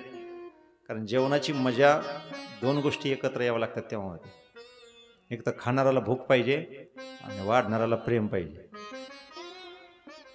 कधी कधी वाढणारालाही प्रेम पण खाणाराला पहिलेच करपट डेकर येतात. ॲसिडिटी झाली. खाणारा म्हणतो घ्या ना. मला वाटतं सकाळी महाराजांनी खूप छान सांगितलं कीर्तनानं सुगरणी आणि उदारे रसज्ञ आणि जेवणारे. खाणाराला भूक पाहिजे आणि वाढणारी सुद्धा उदार पाहिजे. काहीतरी योग बिघडतोय तुझ्याकडे जेवणाचा योग नाही. मग जेवणार कुठं? देवाने सांगितलं मला निमंत्रण आहे. लोक शांत होऊन ऐकायला लागले देवाला निमंत्रण. कोणी आमंत्रण दिलं असं कोणी बोलवलं? देवाने थोडा आवाज वाढवला आणि म्हणले मला माझ्या विदुराने जेवायला बोलवलं. विदुर काकाने देवाकडे पाहिलं म्हणले मी? अरे आपलीच खायची पंचायत आहे एकादशीच्या घरी शिवरात्र. मी कुठं बोलवलं तुला? देवाने खुणवलं म्हणले तू नाही बोलवलं मला तुझ्याकडे यायचं. ही प्रभूची इच्छा व्हावी ना आपल्या घरी यावा एका दिवशी. वाट पाच जा कधीतरी. कोणाची? कोणाची? तुम्ही खरंच कोणाची वाट पाहता बरं? आपण सगळे महाराज आपल्या घरी फक्त मोठा पाहुणा यावा याचीच वाट पाहतो. आणि त्यासाठीच सारं घर सजवलेलं असतं. हो, चांगली फरशी पाहिजे. कलर चांगला पाहिजे फॅन चांगला पाहिजे. का मोठे लोक आमच्याकडे कोणी आले तर आमचा अपमान नाही झाला पाहिजे. घर सगळं सजवतात आम्ही कोणासाठी? एखाद्याने तरी वर हात करावा आणि त्यांनी म्हणावं मी घर सजवते महाराज माझ्या प्रभूसाठी तशी शबरी सजवत होती झोपडी. आहे कोणी? देवासाठी सजवणारा. अहो काहींची देवघरं पाहिले तर लाज वाटते की हे माणसं राहतात की जनावर आहेत. देवाच्या अंगावर फुपाटा आणि देवघर जर चांगलं नसेल तर तुमच्याकडे काही असू द्या महाराज कधीच सुख भेटू शकत नाही कधीच आनंद नाही तुमच्या. घरामधली लक्ष्मी चेतना निघून जाते. आणि ही सगळी जबाबदारी तुमची आहे. यांना तर वेळच नाही देवपूजाला. करूच शकत नाही. तुम्ही सारा व्याप ओढून सुद्धा देवपूजा छान करू शकता. रोज देवाचे कपडे बदलले पाहिजेत रोज देवाला सुंदर स्नान घातलं पाहिजे गंध लावला पाहिजे. छान पूजा केली पाहिजे. सगळं संपल्यावर वेळ का नंतर उशीर का होईना. पण करत जावं. देवहारा जेवढा सुंदर देवघर जेवढं छान दिसल ना तेवढी घरातली चेतना वाढते. तुम्ही बाहेरून माणूस किती थकून येऊन द्या. आणि तू जर देवघराकडे गेला का यात प्रसन्नताच वाढली पाहिजे. देवाची ती मूर्ती ते सजवलेलं सगळं स्वरूप पाहून. आनंद वाटला पाहिजे. नाही तर काहींच्या घरामध्ये सणावारालाच आंघोळी देवाला. या सणाची त्या सणाला देवाला पाणी आहे. नंतर काहीच नाही. देवता अशी प्रसन्न राहिली पाहिजे घरात. चेतना दिसली पाहिजे. देव स्वतः येणार आहे. मिदुर काका म्हणले आता काय फजिती आहे? मी काय देऊ याला? आणि तेवढ्यात तर देवाने खुनवलं उद्धवाला. उद्धवजी चल बिदुरा घर जावे उद्धवजी चल बिदुरा घर जावे. उद्धवजी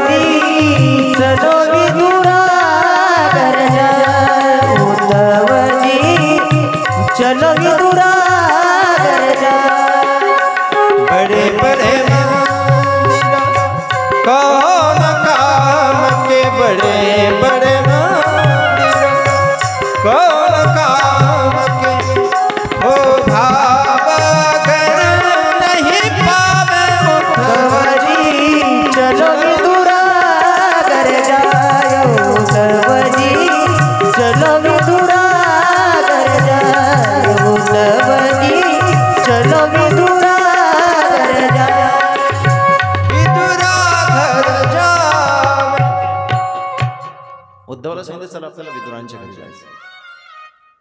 सुरदासजीचं पद आहे खूप छान गायलंय सुरदासजीने देवाचा भाव सांगितला.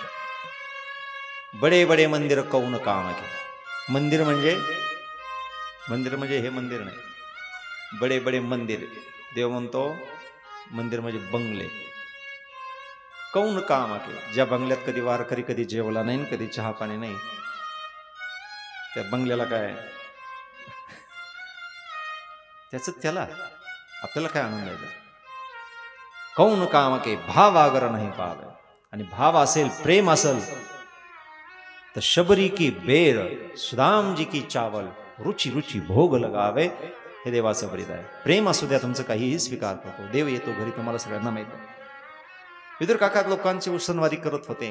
काहीतरी करावं लागन देवाची व्यवस्था. काकी घरी आत होत्या आवरत होत्या. आवाज आला देवाचा काकी मी आलोय. कुटियाचा दरवाजा उघडला आणि देवाला कुठं बसवावं कळेना.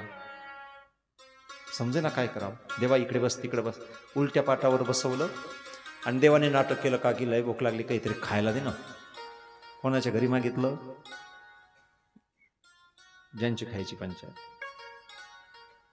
काय येत नाही बरं आपल्या घरी? आपण काही पण देऊ मारा पंचपक्वानाचं ताट देऊ. डुकून पाय ना हो. काकी म्हणले भूक लागली? म्हणली हो. आत कुटियात गेली आणि दोन चार गाडगे खालीवर करून पाहिले काहीच नाही त्याच्यामध्ये. रडायला लागली काकी. कानाला द्यायला माझ्याकडे काहीच नाही. रडत काकी समोर आली आणि सांगितलं नाश्ता कर पुन्हा जेवण करील मस्त. नाश्त्याला काय देते? ती केळी होती. केळी सोडली आणि देवाच्या हातात केळीचा गाभा द्यायचा तर साल दिली आणि स्वतः केळी खाऊ लागली. आणि देव साली मिटक्या मारू मारू खाऊ लागला. आणि काकी केळी खाऊ लागली. चार पाच नाही चांगली डझनभर सालीच खाल्ल्या देवाने. काका आले म्हणले ओय देवा तू साली खातो. म्हणले कळालंच नाही. काकीला म्हणे तू स्वयंपाक कर मी सोडून देतो. काकानी केळी सोडली आणि मधला गावा देवाकडे दिला आणि का देवानी अर्धीच केळी खाल्ली आणि देव म्हणले काका याच्यात मजा नाही. का? साली खात होता तेव्हा मजा आहे याच्यात आनंद नाही. का आनंद होता माहिती खाऊ घालणारी भानावरच नव्हती राहिली. मी कोण हे विसरून गेलती तुम्ही जेव्हा महाराज एवढ्या प्रेमातून करताना तर तुमचा साधा स्वयंपाक असू द्या. खाणारे बोट चाटत राहतात. कारण तुम्ही सर्व भाव सर्व प्रेम त्याच्यात समर्पण केलेलं आहे. पण माझं कौतुक व्हावं आणि कुणीतरी खाल्ल्यावर म्हणावं तर मग ते सगळं बिघडत राहतं. खरं तरी होईल. आणि तर वेळ खाणारा म्हणे काय भाजी झाली? काय? तुम्ही थोडंसं प्रेमाने करून पहा. आज माझ्या पती परमेश्वराला प्रसन्नता वाटली पाहिजे. एवढं प्रेम तुमचं असू द्या. जेवल्या बरोबर पती म्हणेल. आहा. काय भाजी झाली का? पण करताना जे आज ना त्यांनी खाल्ले कीच म्हणले पाहिजे. अरे हुशार झाली का तू? आणि ते खाल्ले कीच म्हणते काय बिघडली तू? स्तुतीसाठी आणि वर्णन करावं कोणीतरी याच्यासाठी केलं की ते सगळं फेल जातं. कशातच मन लागत नाही. आपलं वर्णन व्हावं आपली स्तुती व्हावी याच्यासाठी कोणतंही कार्य तुम्ही करा महाराज ते तुम्हाला आनंद देऊ शकत नाही. कारण त्या अपेक्षेने जर केलं तर अपेक्षा भंग होत असते म्हणून त्याच्यासाठी कोणतंच नाही करायचं. निष्कामतेने निरपेक्षपणाने सेवा म्हणून करत राहायचं. माझ्या पतीची मी सेवा करते. आणि तो माझा धर्म आहे म्हणून मी केलं पाहिजे. आनंद भेटतो. खाणारालाही आनंद आहे खाऊ घालणारालाही आनंद आहे. अहंकार झाला की खाणारालाही आनंद नाही खाऊ घालणारालाही आनंद नाही. विदुरा घरच्या कन्या खाल्ल्या आपल्याला कथा माहिती आहे. विदुरा घरच्या भक्षिणी कन्या परमानंदे झाला. देवाने त्याचा स्वीकार केला. पुढे तेच परमात्मा जेव्हा स्वधामाला गेले आणि उद्धवाने येऊन सांगितलं मैत्री ऋषींची भेट घ्या आणि माझा देव आता मी कुठे पाहू? मला देवाने सांगितले माझं पूर्ण तेज या भागवतात असणार आहे. भागवत धर्माचा स्वीकार करा. तो भागवत धर्म विदुर काकाला द्या. मैत्री ऋषींची भेट घेतली आणि तेच विदुर काकाने राजा परीक्षेचे प्रश्न विचारले सांगा ही सृष्टी देवाने का बनवली? का बनवली? दुनिया बनाने वाले. गाणं माहिती क्या तेरे मन में समाई? काहे को दुनिया बनाई?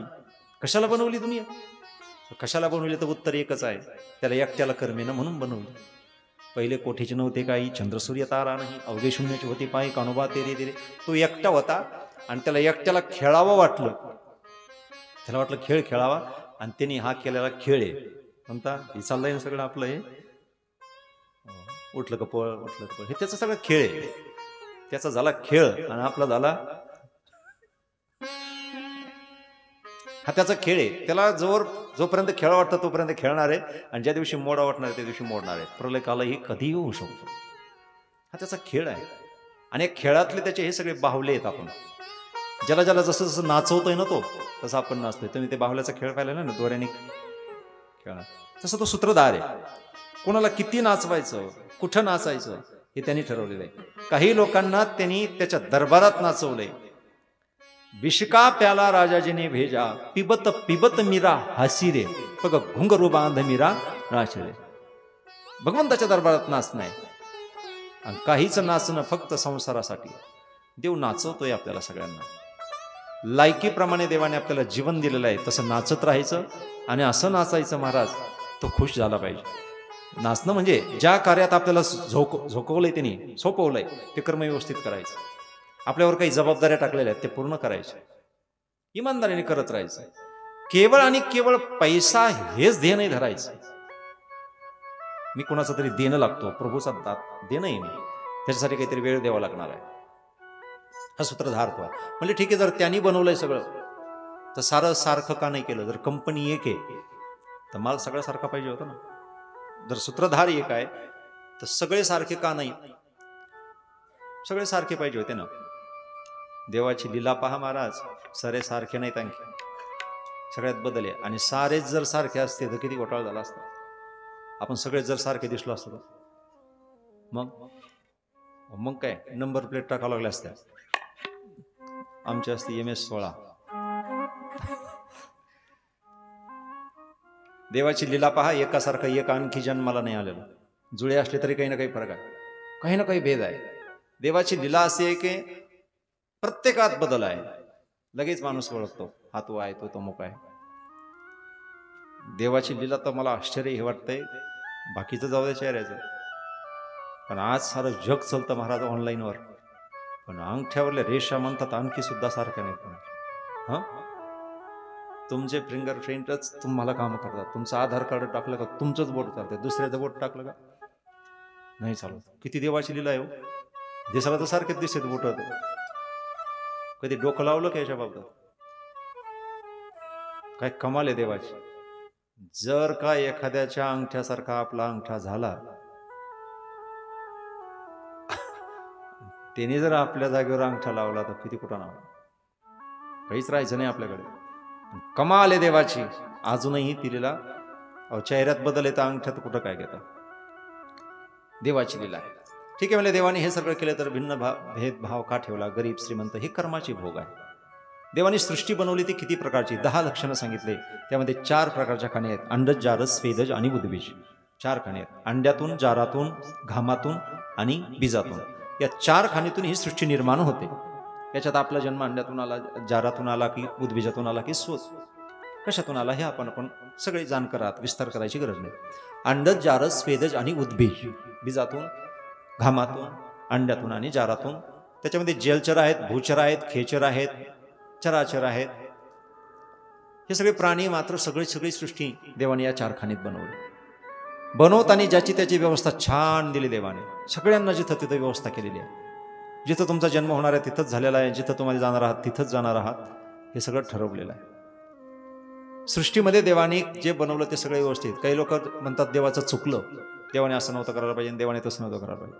देव काहीच चुकू देत नाही. देवाने बरोबर केलं. लोक म्हणतात ती एक प्राणी आहे. देवाची किती मोठी चूक आहे? एका प्राण्याला पायच नाही. शरीर तर भलं मोठं लांब पोटावर फरकत जावं लागते. आणि एक प्राणी एवढा छोटा बनवला पण पाय इतके की मोजता येत नाही. कोण? एक प्राणी छोटा आहे पण पाय एवढे की मोजता येत नाहीत. गोम. तुमच्या गावाला आहे का? ती गोम. किती पाय?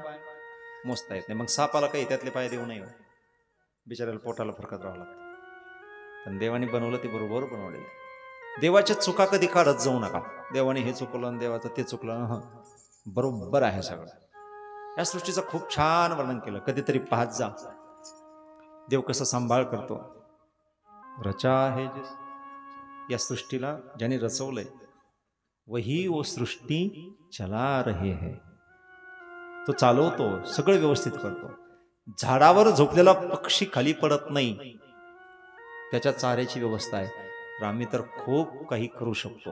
देव देतो आम्हाला. ठीक आहे म्हणजे महाराज या सृष्टीमध्ये मानवांची निर्मिती कशी झाली? कोणापासून कसा जन्म झाला? तर सृष्टीत मानव कसे जन्माला आले? आपला जन्म झाला कसा? तर सृष्टीतले पहिले स्त्री आणि पुरुष. भगवंताने स्वतःच्या नाभीतून एक कमळ जन्माला घातलं ते त्या कमळावर ब्रह्मदेवाची निर्मिती आहे. ब्रह्मदेवाकरवी ही सृष्टी विस्तारित होऊ लागली. ब्रह्मदेवाचे मानसपुत्र जन्माला आले. अनेक प्रकारची सृष्टी करू लागले. पण याच्यामध्ये वाढ होत नाही बदल होत नाही म्हणून मैथुनी सृष्टी व्हावी. एकापासून एकाची उत्पत्ती व्हावी. म्हणून ब्रह्मदेवाने स्वतःच्या अंगाचे दोन अंग बनवले एक स्त्री अंग आणि एक पुरुष अंग. स्त्री अंगाने आणि पुरुष अंगाने या सृष्टीचा विस्तार होईल म्हणून देव ब्रह्मदेवाने स्वतःचे दोन अंग बनवले. मग स्त्री आणि पुरुष या सृष्टीतले त्या मनवंतरातले पहिले त्या पुरुषाचं नाव आहे स्वयंभू मनु महाराज. आणि स्त्री आहे शतरूपा. मनू आणि शतरूपा यांच्यापासून हा सृष्टी विस्तार झाला. मनु शतरूपांची प्रपंच घडी जेव्हा सुरू होते तर पृथ्वी एका राक्षसाने रसातळात नेली होती. ज्याचं नाव आहे हिरण्याक्ष. थोडीशी मधी कथा पुन्हा येते. महाराज हिरण्याक्ष कोण आहे? हिरण्याक्ष आणि हिरण्यकश्यपू हे दोन भाऊ आहेत. आणि हिरण्याक्ष हिरण्यकश्यपू हे देवाच्या द्वारातले द्वारपाल आहेत जय आणि विजय. सनकादिकांनी शाप दिला म्हणून ते राक्षस झाले. मोठी कथा आहे. त्या हिरण्यक्षाने तप केलं आणि पृथ्वी रसातळाने ती भगवंताने पहिला अवतार घेतला वराह. वराह रूपाने ती पृथ्वीवर आणली. मनुष्य रूपा प्रपंच करू लागले. या प्रपंचामध्ये त्यांना पाच संतती झाल्या. तीन मुली आणि दोन मुलं. आपला विस्तार कसा होतो या ऐकताय बरं का तुम्ही? मी जरा फास्ट सांगतोय वेळेत संपवायचा आज काल तुम्हाला थोडा जास्त त्रास दिला जास्त बसावं लागलं. आणि आज दोन तीन दोन अवतार तरी पूर्ण करायचे कारण पात्रासहित सगळी तयारी केलेली आहे. म्हणून त्या अवतारापर्यंत जायचं थोडक्यात राहिलेलं उद्या परत पाहू आपण वाटल्यास. पण वेळेत थांबतो आज. आपल्याकडे फक्त वीस मिनटं शिल्लक आहेत आणखी. वेळ जर पाहिला तर. पाहू तुम्ही जोपर्यंत फ्रेश दिसतात तोपर्यंत आपलं चालू द्यायचं. तुम्ही रंगाला आले की आपला पडदा टाकून घ्या आपण. खरंच छान ऐकताय तुमची आठवण राहीन आयुष्यात. सतत. चांगले ऐकणारी माणसं आठवणीत राहतात वक्त्याच्या. सुंदर ऐकताय. मला सकाळी एक बाबा पुंडलिक मंदिरामध्ये भेटले मला नाव नाही माहीत. पण खूप मोठ्या अंतकरणाने त्यांनी कौतुक केलं. म्हणजे बाबा देवाची लई छान कृपा आहे हो तुमच्यावर. माझं अंतकरण भरून आलं. म्हणलं काय कृपा आहे?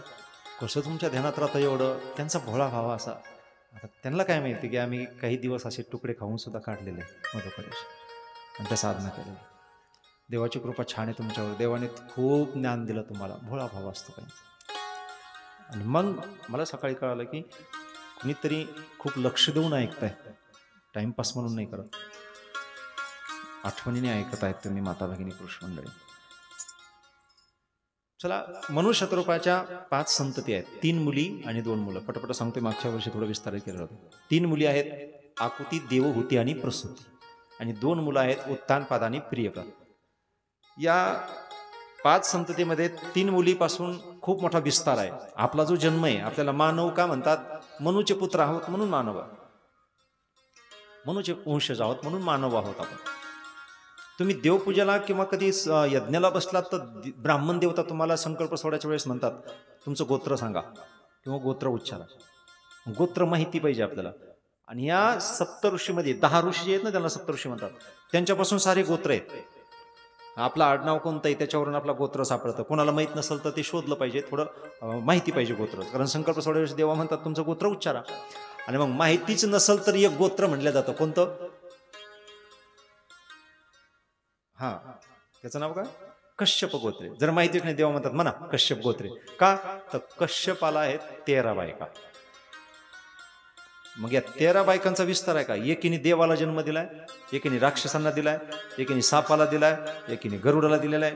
म्हणजे ह्या हा सृष्टीचा विस्तार करत असताना. मग कश्यप गोत्रे म्हणले की कुठेतरी आपली नाळ लागून जाते.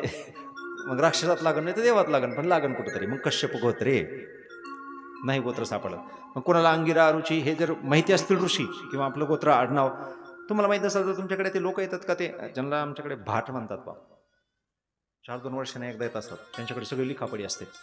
ते सांगतात तुमचा वंश कुठून आला? तुमचे आजोबा पंजोबा कुंकड होते. तिथं वंश सापडतो कधी सापडला प्रयत्न झाला तर ठेवा.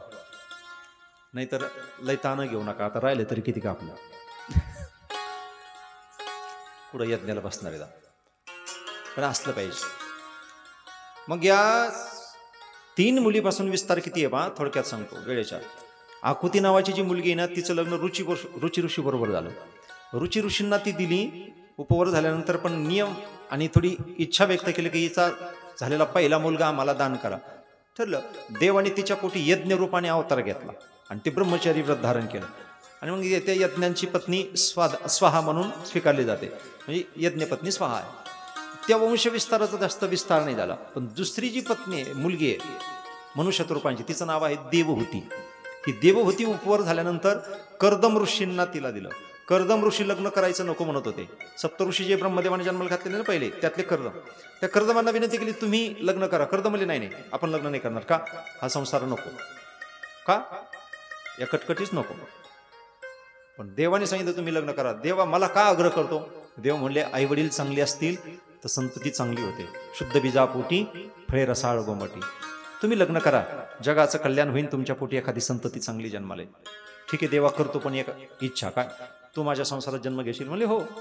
देवाने वचन दिलं कर्दम ऋषी लग्नाला तयार झाले. मग देवहूती नावाची जी मुलगी आहे ती उपवर झाली नारदाने ते स्थळ आणलं. नारद म्हणे म्हणले तुमच्या मुलीचं लग्न? म्हणजे हो करायचंय. मुलगा आहे चांगला. पण मुलीची आई म्हणली चांगला म्हणजे कमवतो ना चांगला? महत्वाचं ते. आहे. तो भजन करतो. भजन मग मुलगी नारद म्हणले तुमचं क- मुलीचं कल्याण होईल. चला. म्हणले बोलवा मुलाला. मुलगा नाही येणार. आपल्याला मुलगी घेऊन जायचं त्याला दाखवायला. मग मुलीचे आई वडील नारद म्हणून मुलगी निघाली. चार लोक आपल्याकडे पाहुणे येतात कर्दमांनी गवताच्या काड्याचे आसन केले कुटिया साफ केली बसायला आसन टाकलं. बसायला आसन टाकल्यानंतर हे पाहुणे आले. तीन आसनावर तीन पाहुणे बसले. आणि जी मुलगी ती जमिनीवर बसली आसनावर हात ठेवला. कर्दमाने विचारलं तुम्ही आसनावर का नाही बसला? म्हणले मी बसू नये. का बसू नये? हे तुमच्यासाठी बसायला टाकलेलं आहे. ती म्हणली नाही बसावं तरी. का बसू नये? तर देवहूतीने छान उत्तर दिलं. ते म्हणले हे आसन तुम्ही टाकले म्हणून बसू नये. मी टाकलं म्हणजे काय झालं? कारण तुम्ही माझे होणारे कोण आहात? पती परमेश्वर. पतीने बसायला टाकू नये आणि टाकलं तर कमीत कमी पत्नीने बसू नये असा नियम आहे हो शास्त्राचा. तुमच्याकडे कसं चालतंय मला काय माहीत नाही.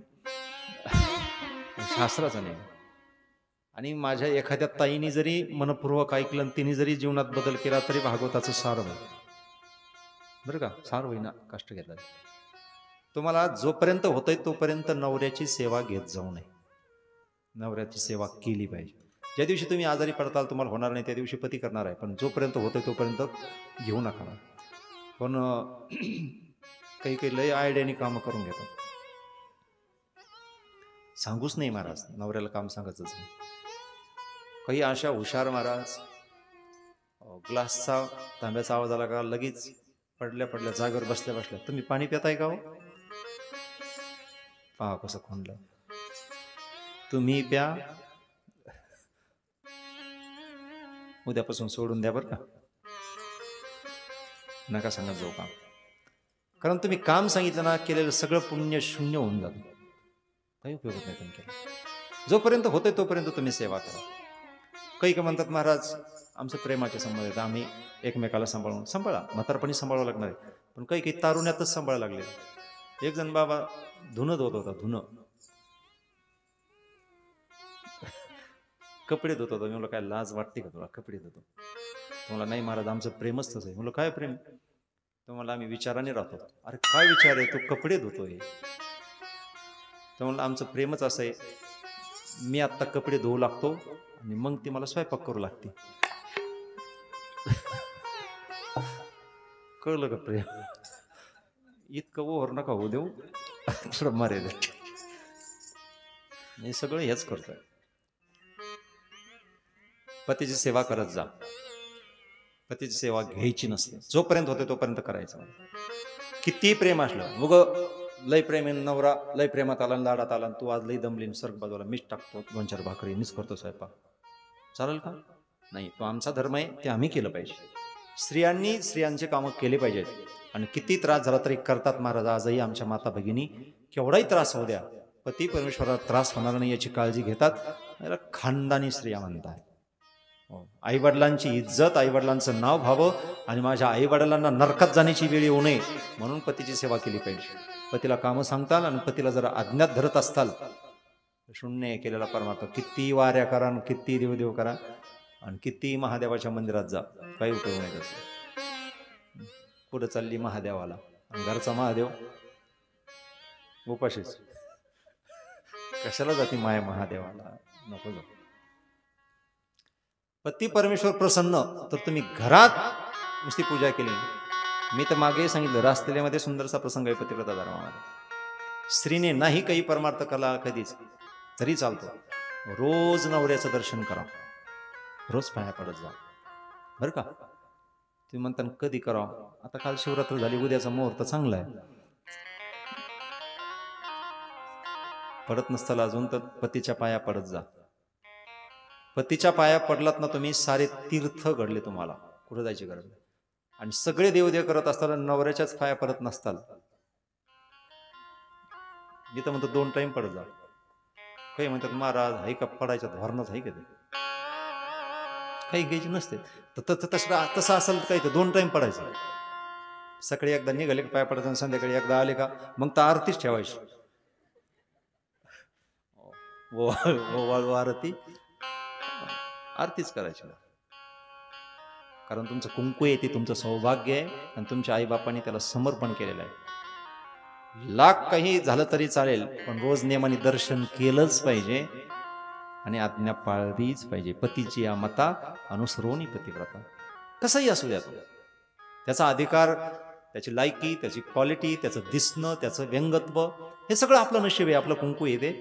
रोज दर्शन करा आणि रोज सेवा करा. काम सांगत जाऊ नका.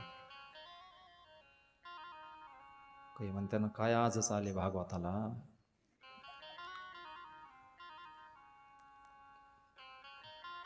नाही माहिती किंवा नाही ऐकलं कोणाचं तर या लेकराचं ऐका तुमच्या भावासारखं आहे तुमच्या लेखासारखं आहे. खूप पुण्य होईल तुम्हाला. तुमच्या आईबापाचं सार्थक होईल महाराज. आणि आईबाप चांगल्या सद्गतीला जातील. एवढं जर ऐकलं लेकराचं तर. तुम्ही लाख करता महाराज खूप कष्ट करतात खूप त्रास सहन करतात. आणि महत्त्वाची गोष्ट चुकून टाकतात. तुमचाही दोष नसतो टेन्शन असतं राग येतो किंवा काही. काहीला राग येतो काहीला अहंकार असतो. काही काही सतत म्हणतात सांगा ना मी कशी? आणि मी कशी पाय पडू? तुम्ही स्त्री आहात. तुमचं ते सौभाग्य काय आज्ञा आहे देऊ तिची आसनावर हात ठेवलाय त्याच्यावर बसली सुद्धा नाही. नवऱ्याने आसन टाकलं तर त्याच्यावर बसत जाऊ नये हा धर्म आहे. आपण त्यांना आसन टाकलं पाहिजे. त्यांनी टाकलं ना आपण बसतोय. लाज वाटली पाहिजे आपल्याला काहीतरी. काहीतरी कळालं पाहिजे आपल्याला याचं. किती पाप लागणार आहे. कर्दम ऋषी लग्नच करायचं नको म्हणत होते तयार झाले महाराज. अशी जर आज्ञाधारी मुलगी भेटत असेल हिला जर आधीच कळतंय पती काय असतोय आणि पतीचा अधिकार काय असतो हिच्याबरोबर मी लग्न करायला तयार आहे. पण एक आट आहे का? एका मुलाला जन्म देईल आणि वानप्रस्थ स्वीकारेल भजन करायला निघून जाईल. मला समाधी लावायची सवय देवती म्हणली छान आहे उलट. माझा पती परमार्थ करणार आहे हे माझं नशीब आहे. सतत माझ्या समोरच बसणार नाही. बैठ मेरे पास. तुझे पहा माझ्याकडे पहा माझा. तो भजन करणार आहे परमार्थ. आणि स्त्रीने नाही केला आणि पुरुषाने जरी परमार्थ केला तर अर्धा भाग अर्ध पुण्य स्त्रीकडे येत असते नशिबाने. लग्न झालं पण लग्न झाल्यानंतर एकदा अशी समाधी लागली आणि वर्षानुवर्षाची समाधी लागली कर्दमाला. ध्यानातूनच गेलं लग्न झालं. दोघांनाही म्हातारपण आलं आणि ती आपली सेवा करत होती दर्शन करत होती रोज. एकदा समाधी उघड डोळे उघडले आणि पाहिलं तर कोणतरी स्त्री आहे म्हातारपण आलेले. कोण आहात आपण? ती म्हणली आठवत नाही. म्हणले नाही. आता लग्न झालेलं आठवत नाही. पहा. आता लग्न झालेलं कोणाला आठवत नाही का हो? का तुमच्याकडे असं विसरलं एखादं? असं विसरून गेलाच बा कुठंतरी निघून. असं होत नाही. तुम्हाला आठवत नाही? म्हणले नाही. देव होती म्हणले मी तुमची धर्मपत्नी आहे. कानाला हात लावले माफ करा. मला आठवण नाही राहिली मी समाधीत गेलो. काय इच्छा आहे. म्हणजे माझी काही इच्छा नाही पण तुम्ही वचन दिलं तर एका मुलाला जन्म दिल्यावर भजन करावं तपाचं सामर्थ्य होतं एका सरोवरामध्ये स्नान केलं. दोघांनाही तरुण शरीर प्राप्त झालं. नव तरुण झाले. आणि परमा प्रपंच सुरू झाला. मुलगा पाहिजे होता पण मुलगा म्हणता म्हणता म्हणता एक नाही दोन नाही नऊ मुली झाल्या. कर्दम म्हणले आता गेला. हरिपाट गेला आणि काकडा गेला आणि सगळंच गेलं नऊ मुली यांचं शिक्षण आणि यांचं लग्न देवाने चांगलं गुंतवलं. नादी लावलं देवाने आता. आठवण आली देव येणार देव येईन म्हणला होता. देवाला प्रार्थना केली. दहावी संतती भगवान कपिल मुनींचा जन्म झाला. स्वतः देवाने अवतार घेतला. आणि बाबाला सांगितलं आता तुम्ही जा भजन करायला. म्हणले यांचे लग्न. ते म्हणले मी पाहतो. तुम्ही जा. या नऊ मुली यांच्यापासून खूप मोठा विस्तार आहे. यातली एक अशी महान आहे की जिने तीनही देवाला पाळण्यात खेळवलं होतं. परीक्षा घ्यायला आलते. कोणती? आत्रीची अनुसया. अशा एकाचकडे एक नऊ मुली आहेत. कपिल मुलींनी नऊ ऋषींना या मुली देऊन टाकल्या. यांच्यापासून खूप मोठा विस्तार होत गेला. कपिल मुनी स्वतः ब्रह्मचर्य व्रत धारण करतात सांख्यशास्त्राचा प्रचार करतात आणि देवतीचा उद्धार करतात. ते कपिल आख्यान कपिलांचं ते सांख्यशास्त्र मोठा विस्तारित विषय आहे. असं थोडे सगळे हे विषय आपण बाजूला ठेवूया. देवाने असे अनेक अवतार घेतले. पुढे आकुती देवहूती आणि प्रसूती तिसरी मुलगी आहे. ती दक्ष प्रजापतीला दिली. तिच्यापासून सोळा मुली झाल्या. प्रसूतीपासून. तेरा मुली कश्यपाला दिल्या. मी तुम्हाला आत्ताच सांगून गेलो. तेरा बायका आहे कश्यपांच्या. आणि कश्यपाला तेरा दिल्यानंतर चौदावी दिली पितृगणाला पंधरावी दिली अग्निदेवाला. आणि सोळावी राहिली ती दिली भगवान शंकराला. काय तिचं नाव? सती. आता ही नातं पहा बरं किती छान आहे.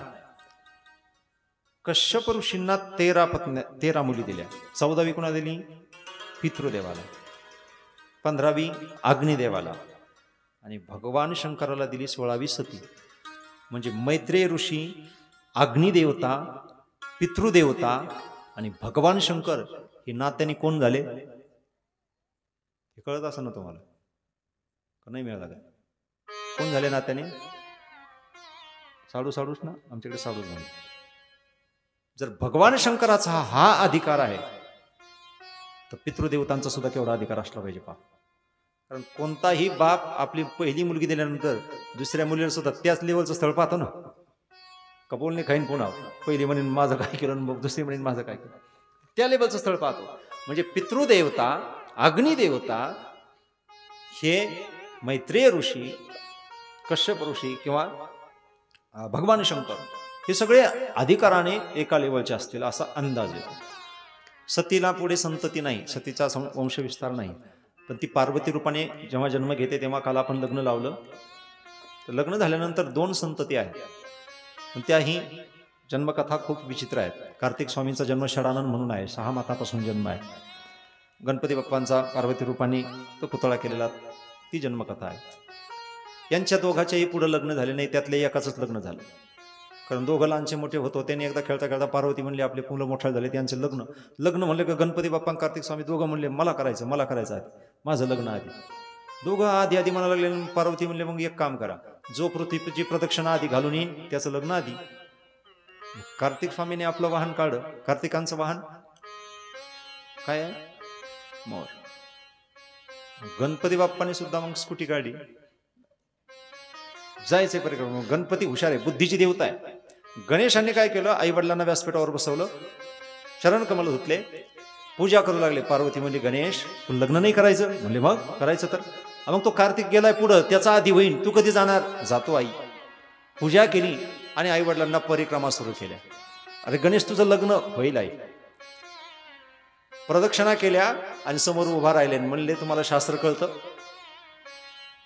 कोणाला विचारलं? आई बापाला. म्हणजे कळतं म्हणजे आई वडिलांना जर पूजा करून परिक्रमा केली तर पृथ्वी प्रदक्षिणेचं पुण्य लागतं हे माहिती आहे? म्हणले हो मग मी तेच केलंय. लग्न आपलं झालं पाहिजे आधी.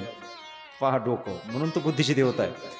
आणि कार्तिक स्वामी तिकडे गाडी दामटू दामटू परेशान. कधी पोहोचायचं? गणेशांचं लग्न झालं. गणेशांच्या दोन पत्न्या. काय त्यांचं नाव? वा धन्यवाद. ज्यांना माहिती त्यांना. रिद्धी शिंदे एक नाही दोन पत्न्या आणि शेवटचं मंगलाष्ट चाललं होतं तदैव लग्नम सुदिनम तदैव तारावलम वाजंत्री सावचितम कार्तिक स्वामी आले म्हणले आपली याची गाडी आपल्या पुढे गेली का हिने कोणता बायपास आणला? शॉर्टकट कुठून काढला? याचं लग्न कसं? मी पुढं पळतो आणि याचं लग्न का झालं? म्हणले याने आमची पूजा केली प्रदक्षिणा केली म्हणून याचं लग्न. माझ्या अगोदर त्याचं लग्न झालं राग आला कार्तिक स्वामीला म्हणले मला लग्नच नाही करायचं. आणि ब्रह्मचारी राहिले. अरे सिद्धींचे पुढे दोन पुत्र आहेत. क्षेम लाभ हे वंशविस्तार थोडक्यात आपण पाहतो त्यानंतर दोन मुलं आहेत उत्तानपाद आणि प्रियव्रत. या उत्तानपादाच्या दोन राण्या सुनीती आणि सुरुची यांचा वंशविस्तार सांगितला. थोडक्यात उद्या पाहूया. त्यानंतर प्रियव्रत यांचाही वंशविस्तार सांगितला. प्रियव्रतामध्ये अजामिळ आख्यान येतं. पार भरताचं चरित्र येतं. जड भरत राजा हरणी गर्भा गेला घाला तो घातला वासनेने. या सगळ्या कथा थोड्या थांबवून आज आपण उद्या कृष्ण अवतार असतो कथेमध्ये कृष्णचरित्र आणि तो कृष्ण जन्मोत्सव करायच्या अगोदर रामचरित्र कळलं तर कृष्णचरित्र कळतं म्हणून रामचरित्र थोडंसं पाहिजे. आणि बाबांची आज्ञा आहे की थोडंसं रामचरित्र थोडंसं विस्तारित व्हावं कारण यावर्षी खूप हृदयावर कोरून ठेवण्यासारखी तारीख घडली. ती म्हणजे बावीस झाडे आमचे रामलल्ला राहुटीतले दिव्य मंदिरात विराजमान झालेत. तर त्या रामाने कसा वनवास काढला आणि कसे दिवस काढले? कधी अयोध्येला गेलतो ना तुम्ही गेला असताल तर आधी जायचो तर त्या राहुटीतल्या रामप्रभूंना पाहिल्यानंतर डोळे भरून यायचे. की जो जगाचा पोशिंदा आहे ज्याच्या कृपेने आम्ही बंगल्यात आहोत तो राहुटीत राहतोय. पण काय प्रभूंनी लीला घडवली महाराज? ते घडत असतं. देव कोणाकडून काय करून घेईल काही सांगता येत नाही. आणि दिव्य सिंहासनावर प्रभू परमात्मा विराजमान झालेले. म्हणून त्या रामाचे चरित्र बऱ्याचशा ठिकाणी यावर्षी रामकथाच झाल्या. भागवत कथा जिथं चालू होते त्यांनी सुद्धा सांगितलं यांना रामकथा करा. तर आपल्या रामकथा पाठ आहे. पण तुमच्या आशीर्वादाने मी खूप थोरा मोठ्यांचं थोडंसं श्रवण करत राहतो. काही वेगळे भाव तुम्ही न ऐकलेले भाव तुमच्यासमोर ठेवण्याचा प्रयत्न करेल. आणि रामकथा म्हणजे पूर्ण रामकथा विस्तारित नाही. फक्त काही महत्त्वाचे भाव त्यातली तुमच्यासमोर ठेवा नाही थोडं रामचरित्र उद्या पाहून मग कृष्ण जन्म. उद्या कथेची वेळही बदलते. उद्या थोडंसं यां- सरांच्या घरचं थोडंसं त्या ताईंची इच्छा तो कार्यक्रम क ज्या निमित्ताने आहे, नामकरण विधीच्या निमित्ताने. म्हणून पाहुणे रावळे येणार आहे तर थोडी कथा लवकर सुरू होणार आहे. शक्यतो सहा वाजता कथा सुरू करण्याची तयारी आहे. सहा ते आठ साडेआठला कथेची आरती होईल. ते म्हणतात मग आम्हाला तर त्यावेळेस घर येणं शक्य नाही. आमच्या जेवण असतील स्वयंपाक असतील. प्रयत्न करा. एखाद्या दिवशी थोडं मागापुढं झालं तर स्वयंपाक करून ठेवा तयारी करून ठेवायची आणि कथेला यायचं. इथून गेलं का तुटून पडायचं. हा. आणि घरून येताना झाकून असं नवीन जागेवर ठेवायचं. म्हणजे घरचे सुद्धा हाताने घेऊन खाल्लं नाही पाहिजे. ते सुद्धा इकडे आले पाहिजे का गेले का? होईल आपण ठरवलं तर. सहा ते आठ साडेआठ पर्यंत कथा करण्याची इच्छा आहे. पाहू. जशी वेळ पुन्हा निघणार आहे. उद्या त्या लेकरांचं ज्या भागत कथेचा प्रसाद म्हणून मानला जातो. ही कथा पुन्हा येण्याचं कारणही आहे आमच्या श्री संदीप सर आहेत ना तुमच्यासमोर बसले संदीपराव शितोळे.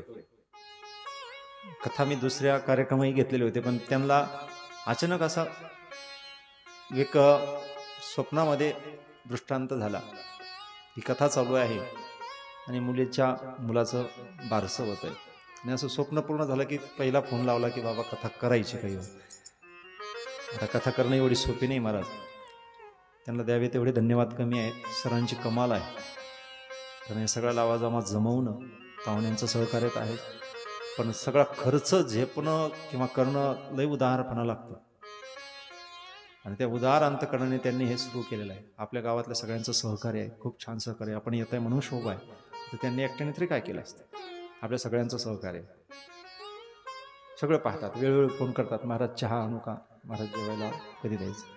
धावपळ करून सगळं करतात. आता त्या मुलीची आपल्या मुलीसाठी बाप काहीही करू शकतो.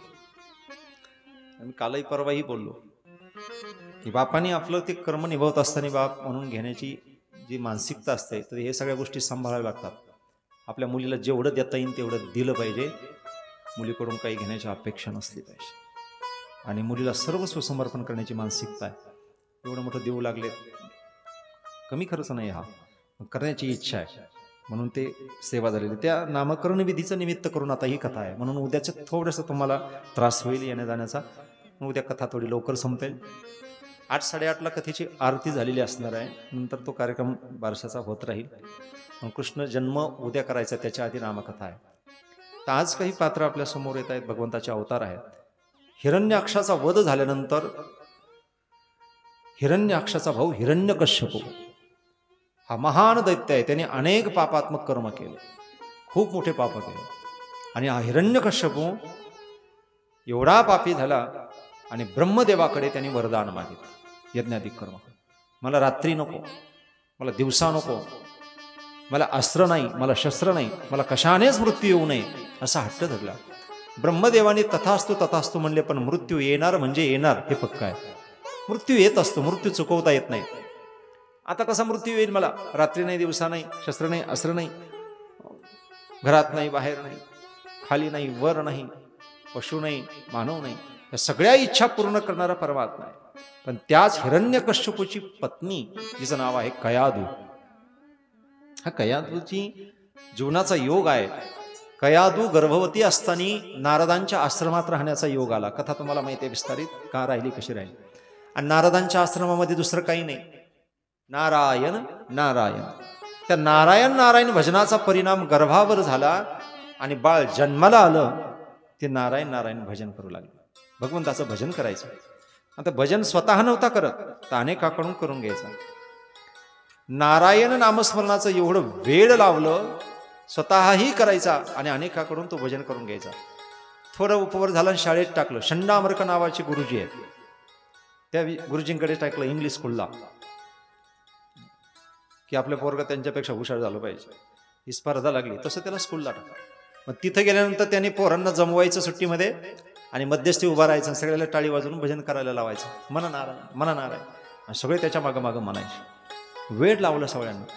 मग हिरण्यकश्यप विचार करतो की रे माझ्या पोटी असं पोरग जन्माला का आलं? नाही कसं हे वेगळंच घडलं की राक्षस पुढं आहे.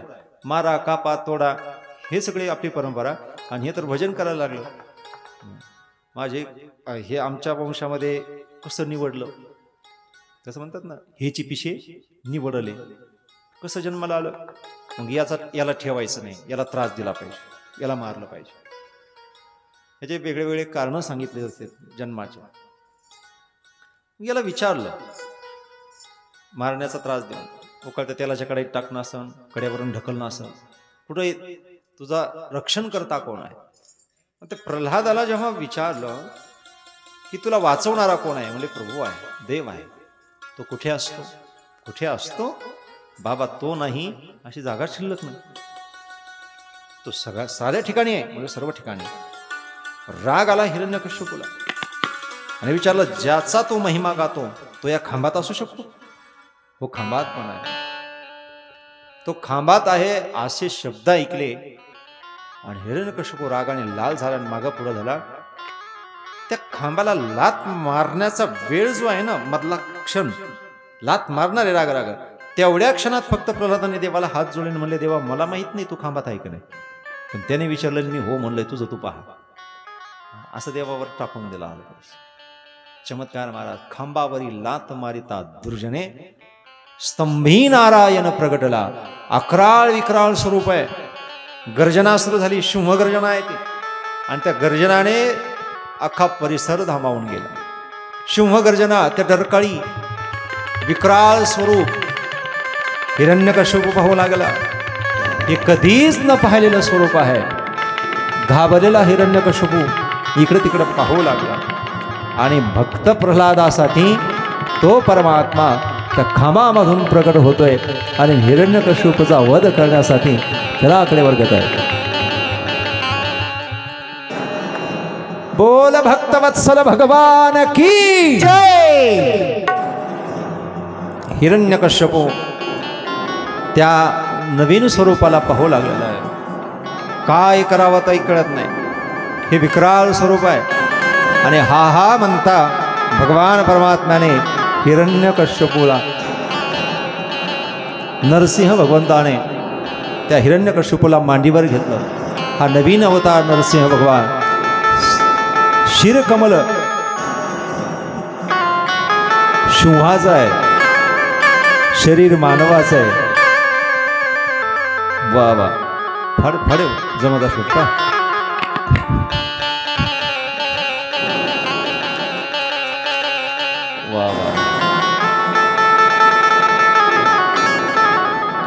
भक्त प्रल्हाद हात जोडून आपल्या बापाचा मृत्यू पाहतोय. देव त्याच्या आतड्यात एक एक आतडे तोडतोय. लय रात्री तलवार फिरत होता म्हणला याला शक्ती नाही. आणि भक्त प्रल्हादाच्या डोळ्यात पाणी आलं आणि प्रल्हाद रडायला लागला. आहा हा प्रल्हाद म्हणजे प्रल्हाद आहे. खूप छान पात्र निभावलंय प्रल्हादाने. अप्रतिम टाळ्या वाजा सगळ्या त्या लेकरासाठी वाटलं गोपाल कृष्ण भगवान की जय।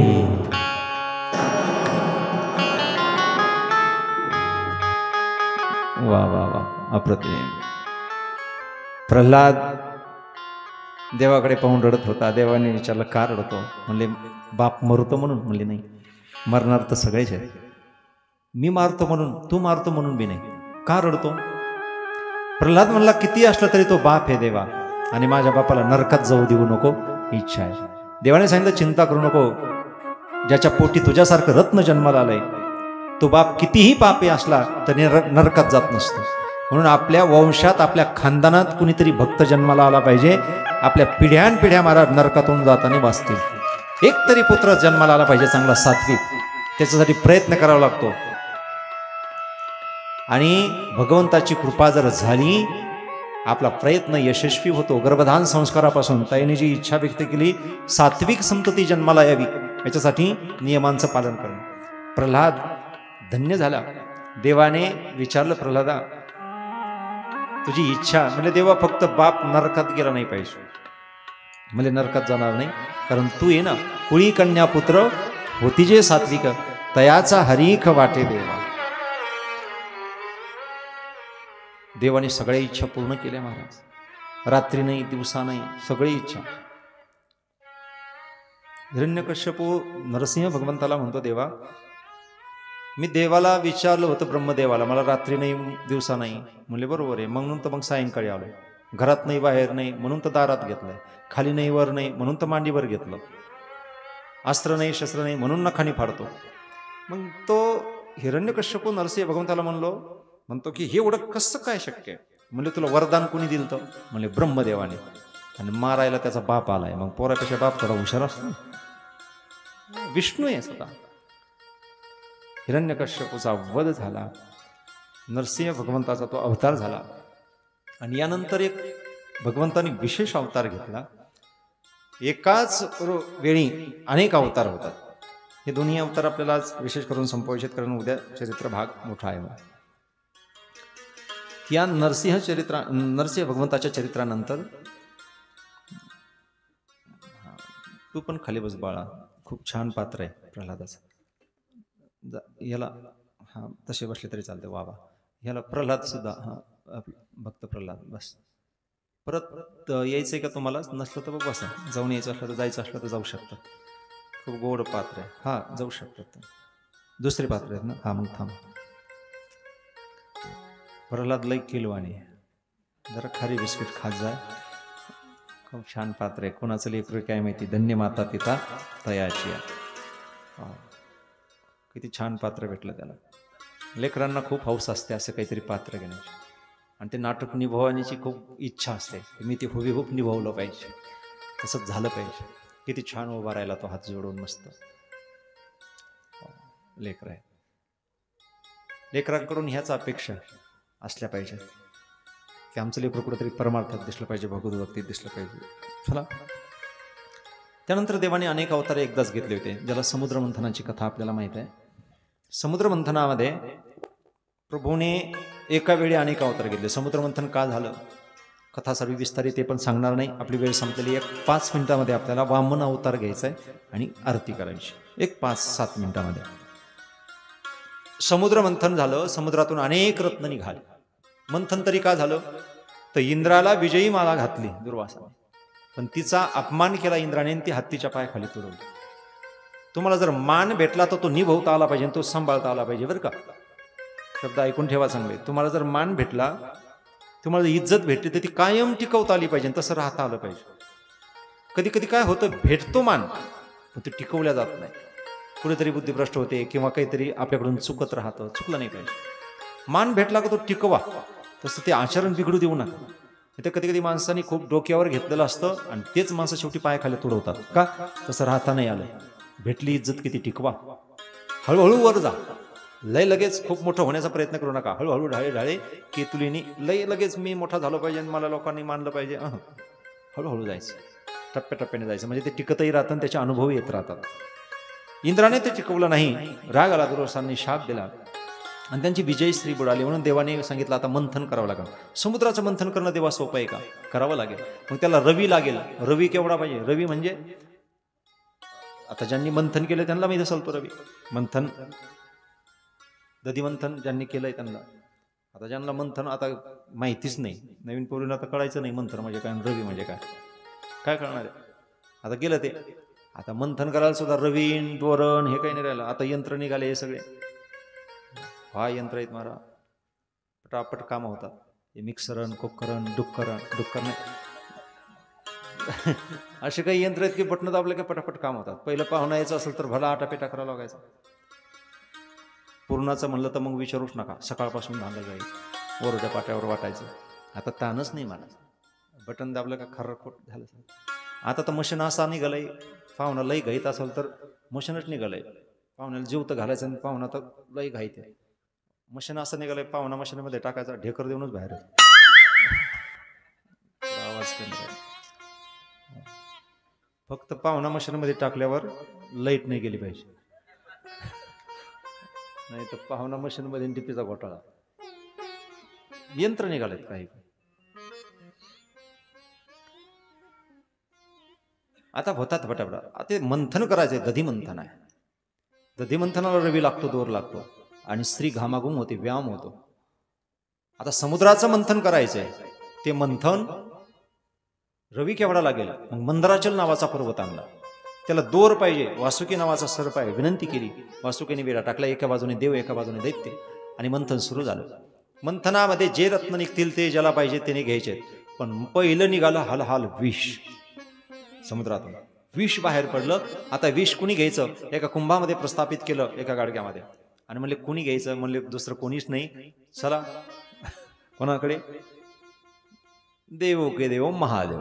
महादेवाकडे आले. कर्पूर गौरम करुणावतारम संसार सारम भुजगेंद्र सदा वसंतम हृदयारविंदे भवं भवानी सहितं नमा.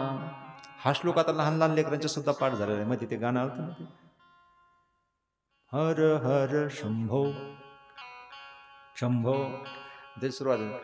कर्पूर गौरम। आहा. खूप छान स्थिती आहे. चला कशा तरी निमित्ताने काहीतरी चांगलं होतं. आमच्या राष्ट्रीय संत प्रदीपजी मिश्रा यांनी शिवपुराणातले काही तोडगे सांगितले लोकांना. आहेत नाहीत मला माहिती नाही मला कल्पना नाही. मी कोणाच्या विरोधात नाही काही बोलत नाही पण त्या तोडग्याचा परिणाम असा झाला अनेक बंद पडलेले शिवालय चालू झाले. आज एकाचं स्टेटस खूप आवडलं मला. काल महादेवाच्या मंदिरातली दर्शनाची रांग पाहता आणि आज पडलेला एकटा महादेव पाहता लक्षात येतं देव सुद्धा कधी कधी एकटा पडतो आपलं कुठं कोण आहे? एकाचं स्टेटस होतं खूप सुंदर आहे. म्हणजे ते काळामध्ये त्या वातावरणामध्ये ते वातावरण तयार होऊन जातं. पण खूप मोठे काही मंदिरं पडायला झालेले सुंदर मंदिरं होऊ लागले. आणि सोमवार व्रत हे सगळे वाढले. लोकांची खूप भगवान शंकरावरली भक्ती वाढली. हे खूप उपकार झाले त्यांचे. खूप सुंदर लोक महादेवाची पूजा करू लागले. आराधना वाढली. चला हे सगळे विष घेतलं आणि महादेवाकडे गेले. प्रार्थना केली. नमशिवाय महादेव प्रसन्न होतात लवकर. बोला काय काम आहे? म्हणजे देवा एवढं विष आणलं एवढं पिऊन घ्या. काय? विष. अरे तुम्ही काय चहा आणलाय का कॉफी आणली? मोकळ्या मनाने आणलं विष आणि घ्या प्या. महादेव म्हणले ठीक आहे तुमची इच्छा तर पितो पण मग घरी विचारतो तरी. मंडळीला पार्वतीला आवाज दिला पार्वती जी देवांनी विष आणलं एवढं पिऊ का पार्वती म्हणजे बिंदास प्या. पहा बायको. महादेवाची ती पार्वती तुला काही वाटत नाही मी विष पिऊ का म्हणतो? पार्वती म्हणजे बिंदास प्यापाला मला भरोसा आहे. तुम्ही विष पेले तरी तुम्हाला काही होणार नाही जगाचं कल्याण. तुम्ही किती पेले तरी काही होणार नाही. अशा बऱ्याचशा पार्वतीला भरोसा आहे. त्या म्हणतात किती पेव द्या? गाडी कुठं पडत नाही. कुठं वरगडत नाही. बरोबर ठेपेल ज्या त्या पार्वतीला जिला तिला भरोसा आहे. बिनधास्त पिऊन घ्या. महादेवाने ते विष प्राशन केलं पुढे. नंतर एक एक रत्न निघू लागले. कौस्तुभ मणी लागला देवाने घेतला पारिजात वृक्ष निघाला स्वर्गात गेला. मोठ्या कथा आहेत सगळ्या. ऐरावत हत्ती निघाला. इंद्राने घेतला उच्चस्रवा घोडा बळीराजाने घेतला. एक एक रत्न सगळ्यांनी घेतले. अमृत निघालं. धन्वंतरी भगवान अमृताचा कलश घेऊन आले. आणि देवता पाहताय तोपर्यंत राक्षसाने घेतलं आणि पळाले. देवाने एक मोहिनी रूप धारण केलं नवीन सुंदर स्वरूप मोहिनी आणि ठुमकत ठुमकत त्यांच्याजवळ आले. आणि त्यांच्या हातातलं अमृत आयडियाने घेतलं महाराज. मोहिनी झाले. जगात महाराज सगळ्यात आपल्याला नष्ट करणारी ताकद आहे सौंदर्य. आपल्याला लवकर भ्रष्ट करणार. आपली बुद्धी लवकर भ्रमित करणार. राक्षसांना भ्रमित करायसाठी एवढीच एक आयडिया होती हे सौंदर्यावर बहाल होते. म्हणून मोहिनी रूप धारण केलं आणि ही सौंदर्य पाहून ते म्हणले आपण कोण आहात? कुठं जायचंय? काय नेहून घालायचंय का? कुठून पाहुण्यात आहात? देव म्हणले तुमच्या हातात काय? म्हणले अमृत आहे. म्हणजे ते अमृत पेयचं सोडून माझ्याकडे काय पाहत बसले? म्हणजे तुम्ही दिसताच एवढं छान. मग हे आम्हाला तुम्हीच वाटा ना. तुमच्या हाताने तर तुमचं दर्शनही होईल. हातात अमृताचा कुंभ आला. आणि म्हणले यातलं थोडं घट खाली गेलं आणि पत्तळ वर आहे. ते देवाला देऊ का? ते किलवानी तोंड करून पाहतेत कवाची कवा आरती होती काय नो? बाबाने स्तना दिला होतोय लय किलवानी तोंड केलंय वर थोडस देऊ पातळ? कसलं घटन पातळ ते म्हणजे हो द्या. आणि मग देवता लाईन धरून बसल्या सूर्यचंद्राच्या मध्ये एक राग जागा होती. सूर भावनो नावाचा देते तिथं घुसलं. देव हो. तुम्ही काही झाले तर तुमचं ते उघड पडतच. आंतरीचे धावे स्वभावे बाहेर. तुम्ही कितीही सोंग केलं का ते उघडं पडत असतं. काही काही माणसं नाही का शुद्ध बोलायला जातात. आमच्याकडे खेड्यातली इकडे आले का पुण्याकडे? हो. आपण आलाही का? तुला जसं येतं तसंच बोलणं कशाला फजिती करतो काहीला उगच हौस असते उगं शुद्ध बोलायचं आणि उगं दोन चार शब्दांनी त्यातला एखादा उघडा पडतो. मग समजते हे खेड्यातलं जे. त्याच्यापेक्षा आहे तेच बोलायचं. उगं कशाला शायनिंग मारायचं? अंतरेचे दावे स्वभावे बाहेर. ते उघडं पडत असत. आता हे द्राक्षस होतं. अमृत हातात आलं देवता वाट पाहत होत्या. कशाची? कशाची वाट पाहत होत्या? पंक्तीला बसल्यावर वाट पाहिजे असते कशाची? वहार होण्याची. सगळ्याच्या ताटावर आलंय का? नंतर बसायचं असतं. हा नियम असतो. आणि मग ते वाट पाहतो तेवढं सूर्यभानूच्या हातात पडलं आणि त्याने लगेच तोंडात टाकायला सुरुवात केली. चंद्रसूर्य म्हणले हे आपल्यातलं नाही दिसत. देवाने लगेच ओळखलं सुदर्शन चक्राने दोन तुकडे केले. उघडं पडत ते लगेच. का? हे लग्नाच्या पंक्ती हाणणारे सत्याच्या पंक्तीत बसले उघडे पडत येत असत लग्नात काय सवय असते? आलं ताटात लगेच तोंडात. पापड वाढलास खाल्लास. बुंदी अरे ते पुढं जाऊ दे ना होऊ दे ना. आणि चांगल्या माणसात बसले मग त्यांना सवय कधी कधी आमच्या पंक्तीला एखादा बसतो तो लग्नाच्या पंक्ती खाणार. आणि ते आम्हाला बोलता म्हणतो महाराज कुठून आलेत काय? आणि पापड ताटातला खातो वाढ नाही पुढं काही नाही. खाता खाता आम्हाला बोलतो खिरा तरी खाईन कांदा तरी खाईन. थांब ना जरा माकडावणी काय? वाढ होऊ देवा जरा सगळ्याला हो आलंय का पाहावा? आणि मग श्लोक म्हणावा सगळ्यांनी मिळून नाही म्हणता आला तरी आपला हात जोडून बसावं लोकांसंग. ज्या माणसात गेलंय तसं बसता आलं पाहिजे. श्लोक हो देवा नाहीच कोणता श्लोक ब्रह्मार्पणम नाही म्हणता आला तरी मराठी. वदनी कबल घेता. नाम घ्या श्रीहरीचे सहजावन होते नाम घेता आपका. जीवन करी जीवितवान हे पूर्ण ब्रह्म. उदर वर्णन हे जाणे जे यज्ञ कर्म. पुंडली कवरदा विठ्ठल श्री ज्ञानदेव तुकारा पंढरीनाथ भगवान की जय. बसा आता. म्हणजे असा नियम असतो सगळ्यांनी संघ बसायचं. यांनी तोंडात टाकलं देवाने त्याचे दोन तुकडे केले. तेच राहू आणि केतू. चंद्र सूर्याला त्रास देतात. देवाचं आणि दानवांचं युद्ध झालं. आणि स्वर्गातला अमृत देव पेले होते म्हणून अमृत झालते राक्षस मरण पावले. राक्षसांचे गुरु शुक्राचार्य संजीवनी मंत्राने जिवंत केले. बळीराजाने ब्राह्मण आणि साधूंचा आशीर्वाद घेतला आणि हे त्रैलोक्य पुन्हा ताब्यात घेतलं. आणि शुक्राचार्याने सांगितलं तुला जर हे कायम टिकाव वाटत असेल तर यज्ञ कर. शंभर यज्ञ पूर्ण झाले तर तू राजा झाला तू त्रैलोक्याचा मालक झाला नाहीतर पुन्हा पतन होऊ शकतंय. याचा अर्थ आहे की तुम्हाला भेटलंय का? त्याच्यातून यज्ञाधिक कर्म करा म्हणजे दानपुण्य चालू ठेवा ते टिकून राहतं. आणि तुम्ही जर नुसतं बंडला बंडल लावत राहिले एका दिवशी तिसराच कुटाणा होतो आणि कुणीतरी तिसरं नेतं. म्हणून त्याच्यातून दानपुण्य घडलं पाहिजे म्हणजे ती शुद्ध संपत्ती होते. कोणाकडून आलंय कसं आलंय? तू यज्ञ कर. बळीने यज्ञ सुरू केला आणि याचे जर यज्ञ पूर्ण झाले तर स्वर्गातल्या देवतांना त्रास आहे. कश्यपाच्याच बा- पत्न्यापैकी तेरा पत्न्यापैकी एक हे राक्षसांची आई आणि एक हे दान देवांची आई. मग देवाची आई घाबरली. माझ्या लेकरावर संकट येईल. ती म्हणली मला असा मुलगा पाहिजे की माझ्या लेकरांचं रक्षण केलं. पयोव्रत सांगितलं. आणि ते पयोव्रत करून त्या आदितीने एका सुंदर बाळाला जन्म दिला. तो म्हणजे भगवंताचा एक पुढचा अवतार आहे. त्या अवताराचं नाव आहे वामन भगवान. बोल वामन भगवान की. वामनांचा अवतार झाला. अत्यंत सुंदर स्वरूप आहे. बटू रूप आहे. हातामध्ये छत्री घेऊन ते आपण फोटो पाहिलेला असतो. अत्यंत गोड स्वरूप आहे. सगळ्यांनी त्याला दान केलेलं आहे. जे पाहिजे ते सगळ्यांनी दान केलं. मेखळा दान भेटली छत्री दान भेटली कमंडलू दान आहे. हातामध्ये कमंडलू छत्री बटू रूप आहे. खडावू घातलेले आहेत. आणि बृहस्पतीने सांगितलं राजा मला दान द्यायचं असेल तर एक दे. त्रैलोक्य पाहिजे. ते त्रैलोक्य कुणाकडे आहे? मला बळीकडे आहे. आणि ते बळीच्या दारामध्ये दान मागण्यासाठी तो वामन भगवान तो अवतार निघतोय. अत्यंत सुंदर स्वरूप आहे. छानसं ते सौंदर्य. जेव्हा वामनांच्या रूपाने परमात्मा पुढे जात आहे बळीच्या द्वारपालापर्यंत त्या दरवाजापर्यंत येत आहे बळीराजाने पाहिलं की अत्यंत सुंदर स्वरूप आहे. कोण असेल हा? बळीराजा सामोरं जाणार आहे. खूप सुंदर रूप दिसतंय. बळीने लांबून पाहिलं की कोण असेल हा? एक आगळं वेगळं सौंदर्य आहे. बळी सामोरा गेला. वामनांच्या समोर गेला आणि वामनाला दंडवत घातलं. नमस्कार केला. स्वागत केलं. बळीने वामन भगवंताला सिंहासन दिलं. आसनावर बसवलं. आणि स्वतः सेवक होऊन समोर बसलेला आहे. आज भाग्य असं आहे की जगाचा बाप परमात्मा बळीच्या दारात आहे. आणि एवढ्या वेळामध्ये बळीराजा देवाला विचारतो देवा आपण कोण आहात? म्हणले मी वामन. वामन? कुठून आलाय देवा? मी काशीचा ब्राह्मण आहे. काय देऊ तुम्हाला? तुम्ही यज्ञमंडपात आलेला आहात. वामन भगवंताने सांगितलं मला काहीच नाही पाहिजे मी समाधानी ब्राह्मण आहे. मी ब्राह्मण आहे पण काही बळी द्यायला तयार आहे. आणि वामन म्हणतो काही नाही पाहिजे. इकडं शुक्राचार्याने विचार केला ब्राह्मण आणि नको म्हणतोय. हे शक्य नाही. अंतर्ज्ञानाने पाहिलं हा ब्राह्मण नाही. हा साक्षात विष्णू आहे.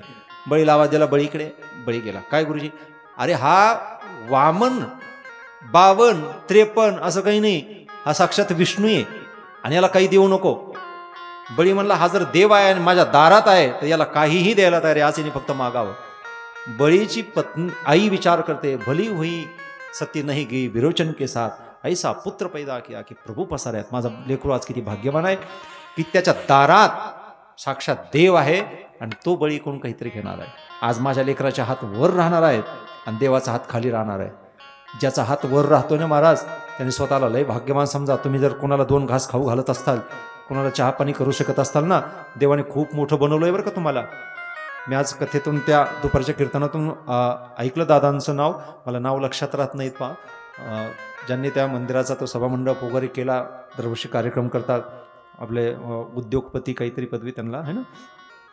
हा रामभाऊराव शितुळे पाटील म्हणजे असं काहीतरी देवाने दिलं पाहिजे की? आमचा हात वर राहिला पाहिजे. आमच्यामुळे कोणा गोरगरिबांचे फोटो भरले पाहिजेत आणि आमच्यामुळे कोणाला तरी समा हे जर भेटलं असेल तर देवाचे उपकार मानायचे. फक्त अहंकार होऊ द्यायचा नाही की देवा खूप मोठं बनवलंय मला तू की मी कोणाला तरी देऊ शकतोय. बळी म्हणला एवढा भाग्यवान की जगाचा बाप परमात्मा जगाला पोसवणारा माझ्या दारात आहे. त्याने फक्त मागावं काय पाहिजे ते? मी द्यायला तयार आणि वामन म्हणतात मला काहीच नाही पाहिजे. वामन भगवत फक्त मुंडकं हलवतात छत्रीच्या खाली. मला काही नको. आणि बळी म्हणतो काहीतरी माग पटकन मला सुद्धा कटाळाला एका पायावर बसव. काहीतरी निर्णय घे पटकन. शेवटी बळी बळीराने खूप आग्रह केला. वामन भगवान सांगतात देवा बळीराजा तू खरंच देणार असेल तर एक काम कर. मला बाकी काही नाही लागत पण मला स्वतःला बसण्यापुरती जागा नाही म्हणून तीन पाऊल जागा दे. तीन पाऊल. तीन पाऊल फक्त अरे तीन पाऊल हे सगळं आपलंच आहे. काय घ्यायचं तर घे. नाही फक्त तीन पाऊल. तुझ्या पायाने का माझ्या पायाने? देव म्हणले माझ्या पायाने. अरे तुझे पाय पाय की उडले झिरो नंबरची चप्पल यायची नाही. त्याच्यात एखादा प्लॉट तरी येईल ना दोन तीन धागा मोठा टाकला तर माझ्या पायाने देतो. म्हणले नाही ते माझ्याच पायाने पाहिजे. बळी म्हणतोय ठीक आहे. कोणत्या बाजून देऊ? शिखरापूर का इकडं ना सगळी प्लॉटिंग आपलीच आहे. बळीने फक्त खुनवलंय इकडून ती जाय नाही तर तिकडून ये. कोण कोण घ्यायचं तिकडून घे. देवाने सांगितलं ठीक आहे. मी घेतो. म्हणले देतो आणि घेतो असं नाही. संकल्प सोड. रजिस्टरी पक्क पाहिजे. तुझा काय भरोसा आहे उद्या बदलला तर? आण पाणी. पाण्याची झारी आणली आणि संकल्प सोडण्यासाठी झारीतून पाणी हातावर घेऊ लागला तर ते शुक्राचारी आहे ना त्या झारीत जाऊन बसलं. त्या झारी. कोणाच्या रूपाने? भुंग्याच्या रूपाने. भुंग्याच्या रूपाने बसलं पाणीच खाली येणार. देव म्हणले चिकट आहे का रे तू जरा? चिकट माणसाचं लक्ष नसते हात खिशात घातला का? ते आतल्या आतचा हे पाचचा ठोकळा दिसतोय. हे दहाचा दिवस बरोबर एकचाच काढतं. तसं तो चिकटपणे देऊ लागलाय. म्हणजे नाही मनातून देतो. मग पाणी काय येत नाही? देवाला कळालं का याच्यात कोण बसलंय? शुक्राचार्य. एक काळी दिली जोरात टाक म्हणले चांगली हाण जोरात काळी घाल. देवाने जोरात काळी हाणली महाराज त्याचा डोळा गेला आणि ते निघून गेलो. कोण? शुक्राचार्य. कमून डोळा घातला आड आला म्हणूनही फोडी येला डोळा. आज काहीच नाही लक्षात राहिलं तर एवढं लक्षात राहून द्या. आड आला म्हणूनही पुन्हा एकदा सांगू. कमून गेला डोळा.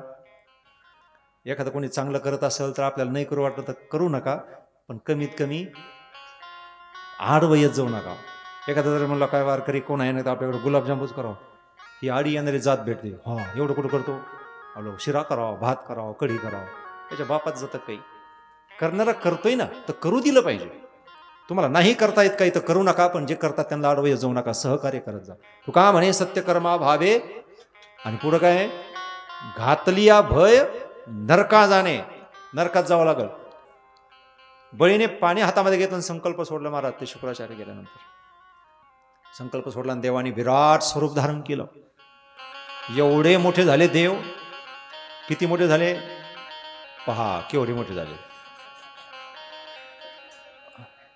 खुर्शीवर उभा राहिले बी होतेत का नाही कोण मोठे? खुर्शीवर उभा राहा. हे देवाचं विराट स्वरूप प्रगट झालं आणि बळी नुसत्या नखाजवळ राहू लागला. इतकं ते विराट स्वरूप होतं. अत्यंत सुंदर स्वरूप. बळी भारावून गेला. आणि दोन पावलामध्ये महाराज देवानी ब्रह्मांडा सहित अर्पण केलं. आणि तिसरा पाय शिल्लक राहिला आणि बळीला विचारलं सांग तिसरा पाय कुठं ठेव? बळी म्हणला देवा हा दाता बळी शिल्लक आहे आणि माझं शिरकमल माझं डोकं तुझ्यासमोर आहे. जर मी शिल्लक आहे तर तुझा पाय माझ्या डोक्यावर ठेव. बळीने स्वतः झुकावून घेतलं. आणि देवाने बळीच्या डोक्यावर लय दा लय नको दाबो. दैन पातळात. वा वा. छान पात्राने भावलं बळीला राजा बनवलं सतोल लोकाचा. पाताळात घातला म्हणजे आशीर्वाद दिला. आणि त्याच्या दारात द्वारपाल होऊन राहिला. हे सुंदर अवतार कार्य देवाने केलं.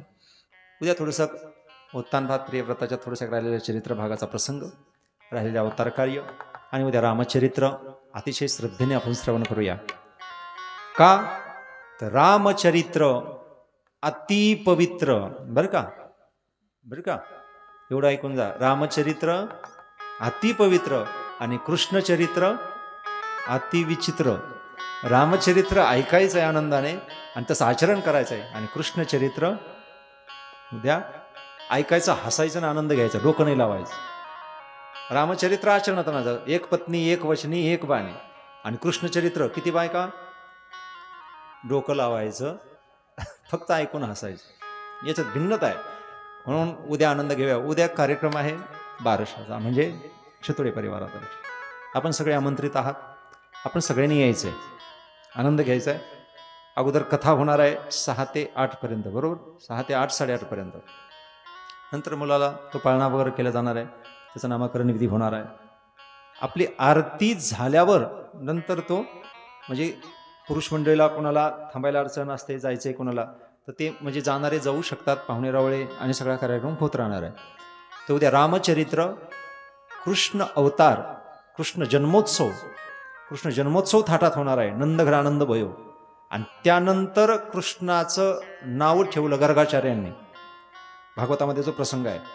गर्गाचार्यांनी येऊन स्वतः गोकुळामध्ये नंदबाबाच्या आज्ञेने गाईच्या गोठ्यामध्ये त्यांना बोलावून घेऊन या लेकरांचा नामकरण विधी केला. तो विधी थोडक्यात दोन मिनिटामध्ये पूर्ण करून आपल्याला तो नामकरण विधी करायचा. आणि आरती करून नंतर पाळणा वगैरे तो कार्यक्रम सगळा होत राहणार आपल्याला आरती प्रसाद भेटल ज्यांना जात जायचं आहे म्हणजे कथाही चुकणार नाही आणि आपल्याला थांबायलाही टेन्शन राहणार नाही. ज्याला थांबायचं त्यांनी आनंदाने थांबू शकतात बाकीचे जाऊ शकतात असा उद्याचा तो कार्यक्रमाचं नियोजन असणार आहे. आणखी काही सूचना असतील तर आपल्याला आरतीनंतर संदीप सर वगैरे आदरणीय कृष्णा महाराज ते सांगतील. आता आपण लगेच आरती करून घेणार आहोत. जास्त वेळ झालाच पुन्हा थोडा दोन पाच मिनटं त्याबद्दल क्षमा माफी मागतो. सगळ्यांनी उठून उभा राहायचं आहे आणि आरती पेटूस तर उभा राहता राहताच थोडंसं एक मिनटाचं भजन करायचं.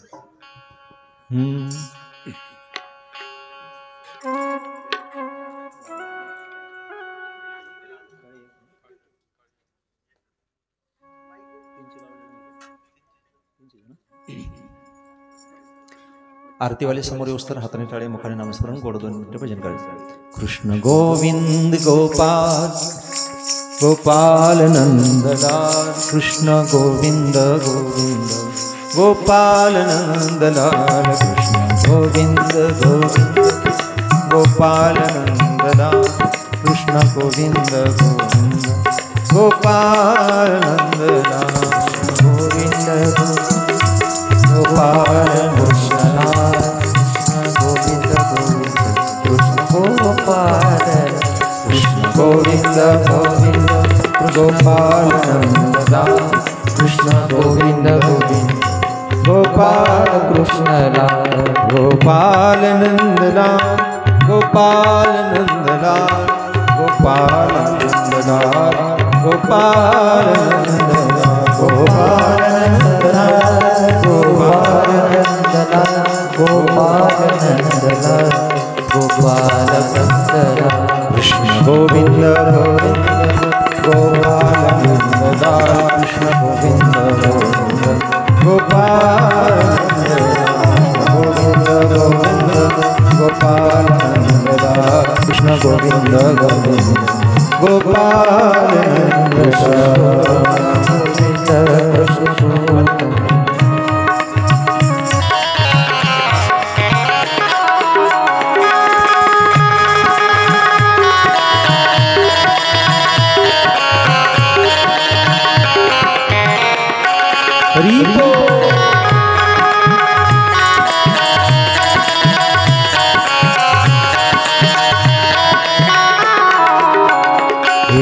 नंदलाल गोपाल नंदलाल गोपाल नंदलाल गोपाल नंदलाल गोपाल नंदलाल गोपाल गोपाल गोपाल कृष्ण गोविंद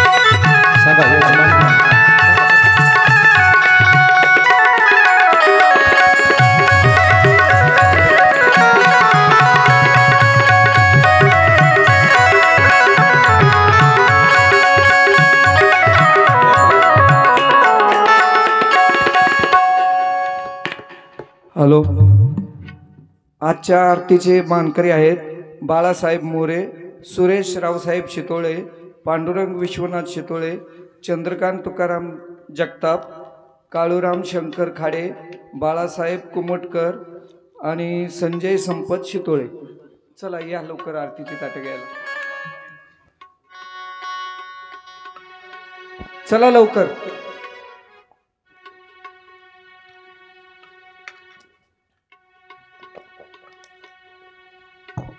चला. चला ज्यांना नाव घेतले त्यांनी या समोर.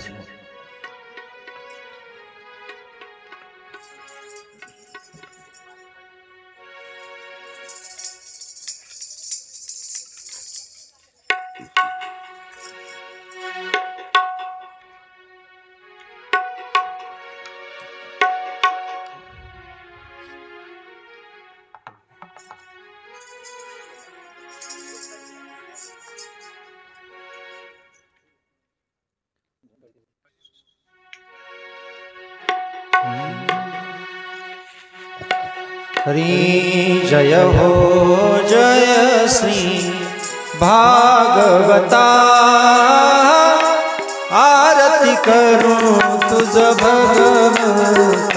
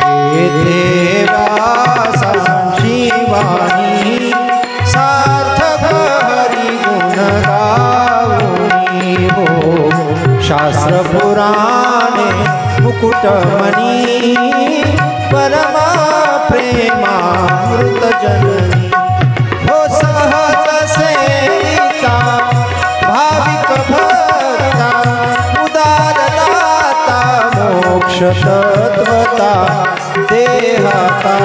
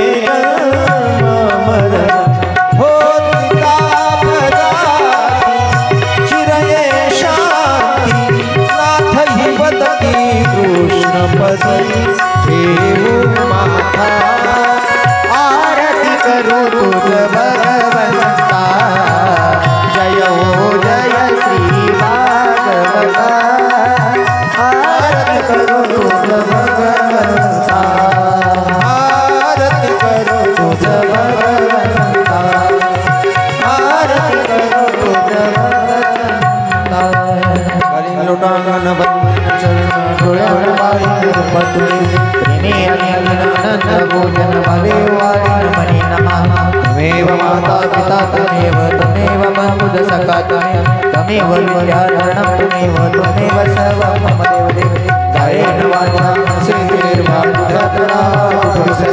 करोति नारायणाय हि अश्वं स्वं ब्राह्मणायं कृष्णकामोदमं वासुदेवं श्रीधवं मदों गोपिकावलों जनकीनायकं रामचन्द्रं हरे राम हरे राम राम राम, हरे हरे हरे। हरे कृष्ण हरे कृष्ण कृष्ण कृष्ण हरे हरे हरे हरे राम हरे राम राम राम हरे हरे हरे कृष्ण हरे कृष्ण। गोपाल कृष्ण भगवान श्रीमद्भागवत महापुराण श्री सुखदेव भगवान की नम पार्वती पते शिव हर हर हर महादेव।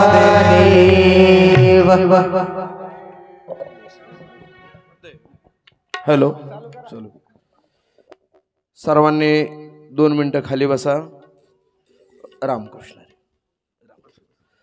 अखिल कोट ब्रह्मांड नायक पांडुरंग परमात्म्याच्या कृपेने साधू संतांच्या आशीर्वादाने गेल्या दोन वर्षापासून चालू असलेला भव्य संगीतमय श्रीमद भागवत कथा ज्ञान यज्ञ सोहळा आज तिसऱ्या दिवसाची श्रीमद भागवत खेवा या ठिकाणी यथासांग संपन्न झालेली आहे. वराह अवतार कथा नरसिंह अवतार कथा अजामिळ चरित्र कथा वामन अवतार कथा अगदी पात्रासह यथासांग सर्वांना पचेल रुचेल समजेल अशा पद्धतीने महाराजांनी ज्ञानदान आपणाला दिलेलं आहे. त्याचबरोबर सर्वांना दृश्यही आपण पाहून सर्व तृप्त झालेलो आहोत. आणि म्हणून श्री हरिभक्तीपरायण परमपूज्य भागवताचार्य रामेश्वरजी महाराज चव्हाण सुकळीकर महाराजांना द्यावे तेवढे धन्यवाद कमीच आहे. सर्व नावी सांडस ग्रामस्थांच्या वतीने महाराजांचे हार्दिक असे आभार. त्याचबरोबर या ठिकाणी हा जो कार्यक्रम नियोजित जे आयोजन करणारे ज्याच्या ज्यांच्या सत्य संकल्पातून हा कार्यक्रम आरंभ झालेला आहे असे श्री हरिभक्तीपरायण संदीप विठ्ठलराव शितोळे देशमुख व श्री हरिभक्तीपरायण बाळासाहेब संदीपान मोरे संत तुकाराम महाराजांचे दहावे वंशज आहे. कारण तत्व आयोजकस्तु दुर्लभ असं शास्त्रामध्ये म्हटलेलं आहे. आणि त्याचबरोबर आमचे गुरुतुल्य असणारे श्री हरिभक्तीपरायण गुरुवर्य वारकरी भूषण मृदंग महामेरू संपूर्ण ज्ञानेश्वरी मुखोद्गत ज्यांच्या वाणीमध्ये अगदी प्रवा पाण्याच्या प्रवाहासारखे वाहते असे श्री हरिभक्तीपरायण कोष्टी गुरुजी बाबा यांची उपस्थिती आणि यांच्या कुशल मार्गदर्शनाखाली हा कार्यक्रम आपला चालू आहे. त्याचबरोबर संपूर्ण भैरवनाथ भजनी मंडळ ग्रामस्थ भजनी मंडळ त्याचबरोबर संपूर्ण ग्रामस्थ नावी सांडस भाविकांनीही चांगल्या पद्धतीची उपस्थिती या ठिकाणी दर्शवलेली आहे. आणखी उद्यापासून आणखी सर्व या कार्यक्रमाला बहुसंख्येने सर्वांनी यायचे. नियोजित कार्यक्रम सकाळी चार ते सहा काकड आरती भजन साडेसात ते अकरा. श्रीमद भागवत संहिता पारायण वाचन तदनंतर अकरा ते साडेबारा या वेळेमध्ये गाथा भजन तदनंतर तीन ते पाच या वेळेमध्ये संहिता पारायण. उद्याचा हरिपाठ बाबा जरा लवकर होईल. हा पाच ते सहा अगदी सहा वाजेच्या आतमध्ये हरिपाठ संपला पाहिजे. हा बरं. आणि उद्याची कथेची वेळ बाबांनी सांगितली तर उद्या सहा ते साडेआठ या वेळेमध्ये श्रीमद भागवत कथा होईल. त्याचबरोबर श्रीरामचंद्र प्रभूची जन्मकथा आणि भगवान श्रीकृष्ण परमात्म्याची जन्मकथा होणार आहे आणि पात्रही सुंदर प्रकारे सजवले जाणार आहे. आणि तदनंतर आपल्या बाळाचा नामकरण विधी मोठ्या भव्य आणि दिव्य स्वरूपामध्ये होणार आहे. म्हणून या सर्व का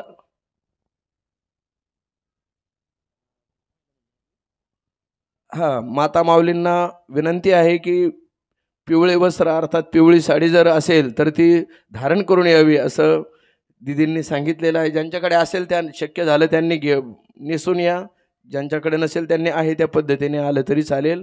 परंतु कथेला कारण सज्जनाहू महाराजांनी अगदी भाव ओतून कारण जन्मांतरे भवेत पुण्यम तदा भागवतम लभेत. अनंत जन्माचं पूर्व पुण्य उदयाला आल्याशिवाय श्रीमद भागवत हे ज्ञान यज्ञ आपल्याला सहजसहजी घडू शकत नाही.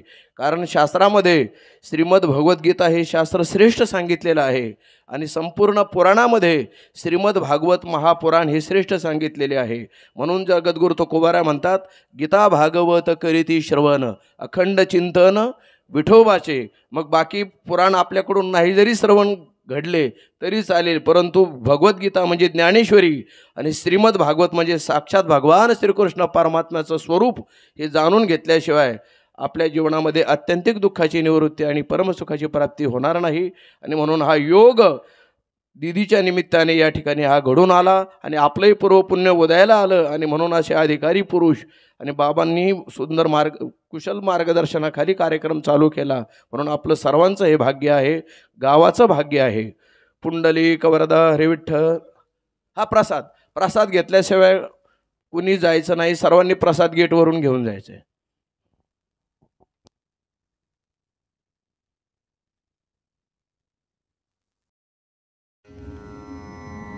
गोष्टी महाराज हे यूट्यूब चॅनल आजच सबस्क्राईब करा.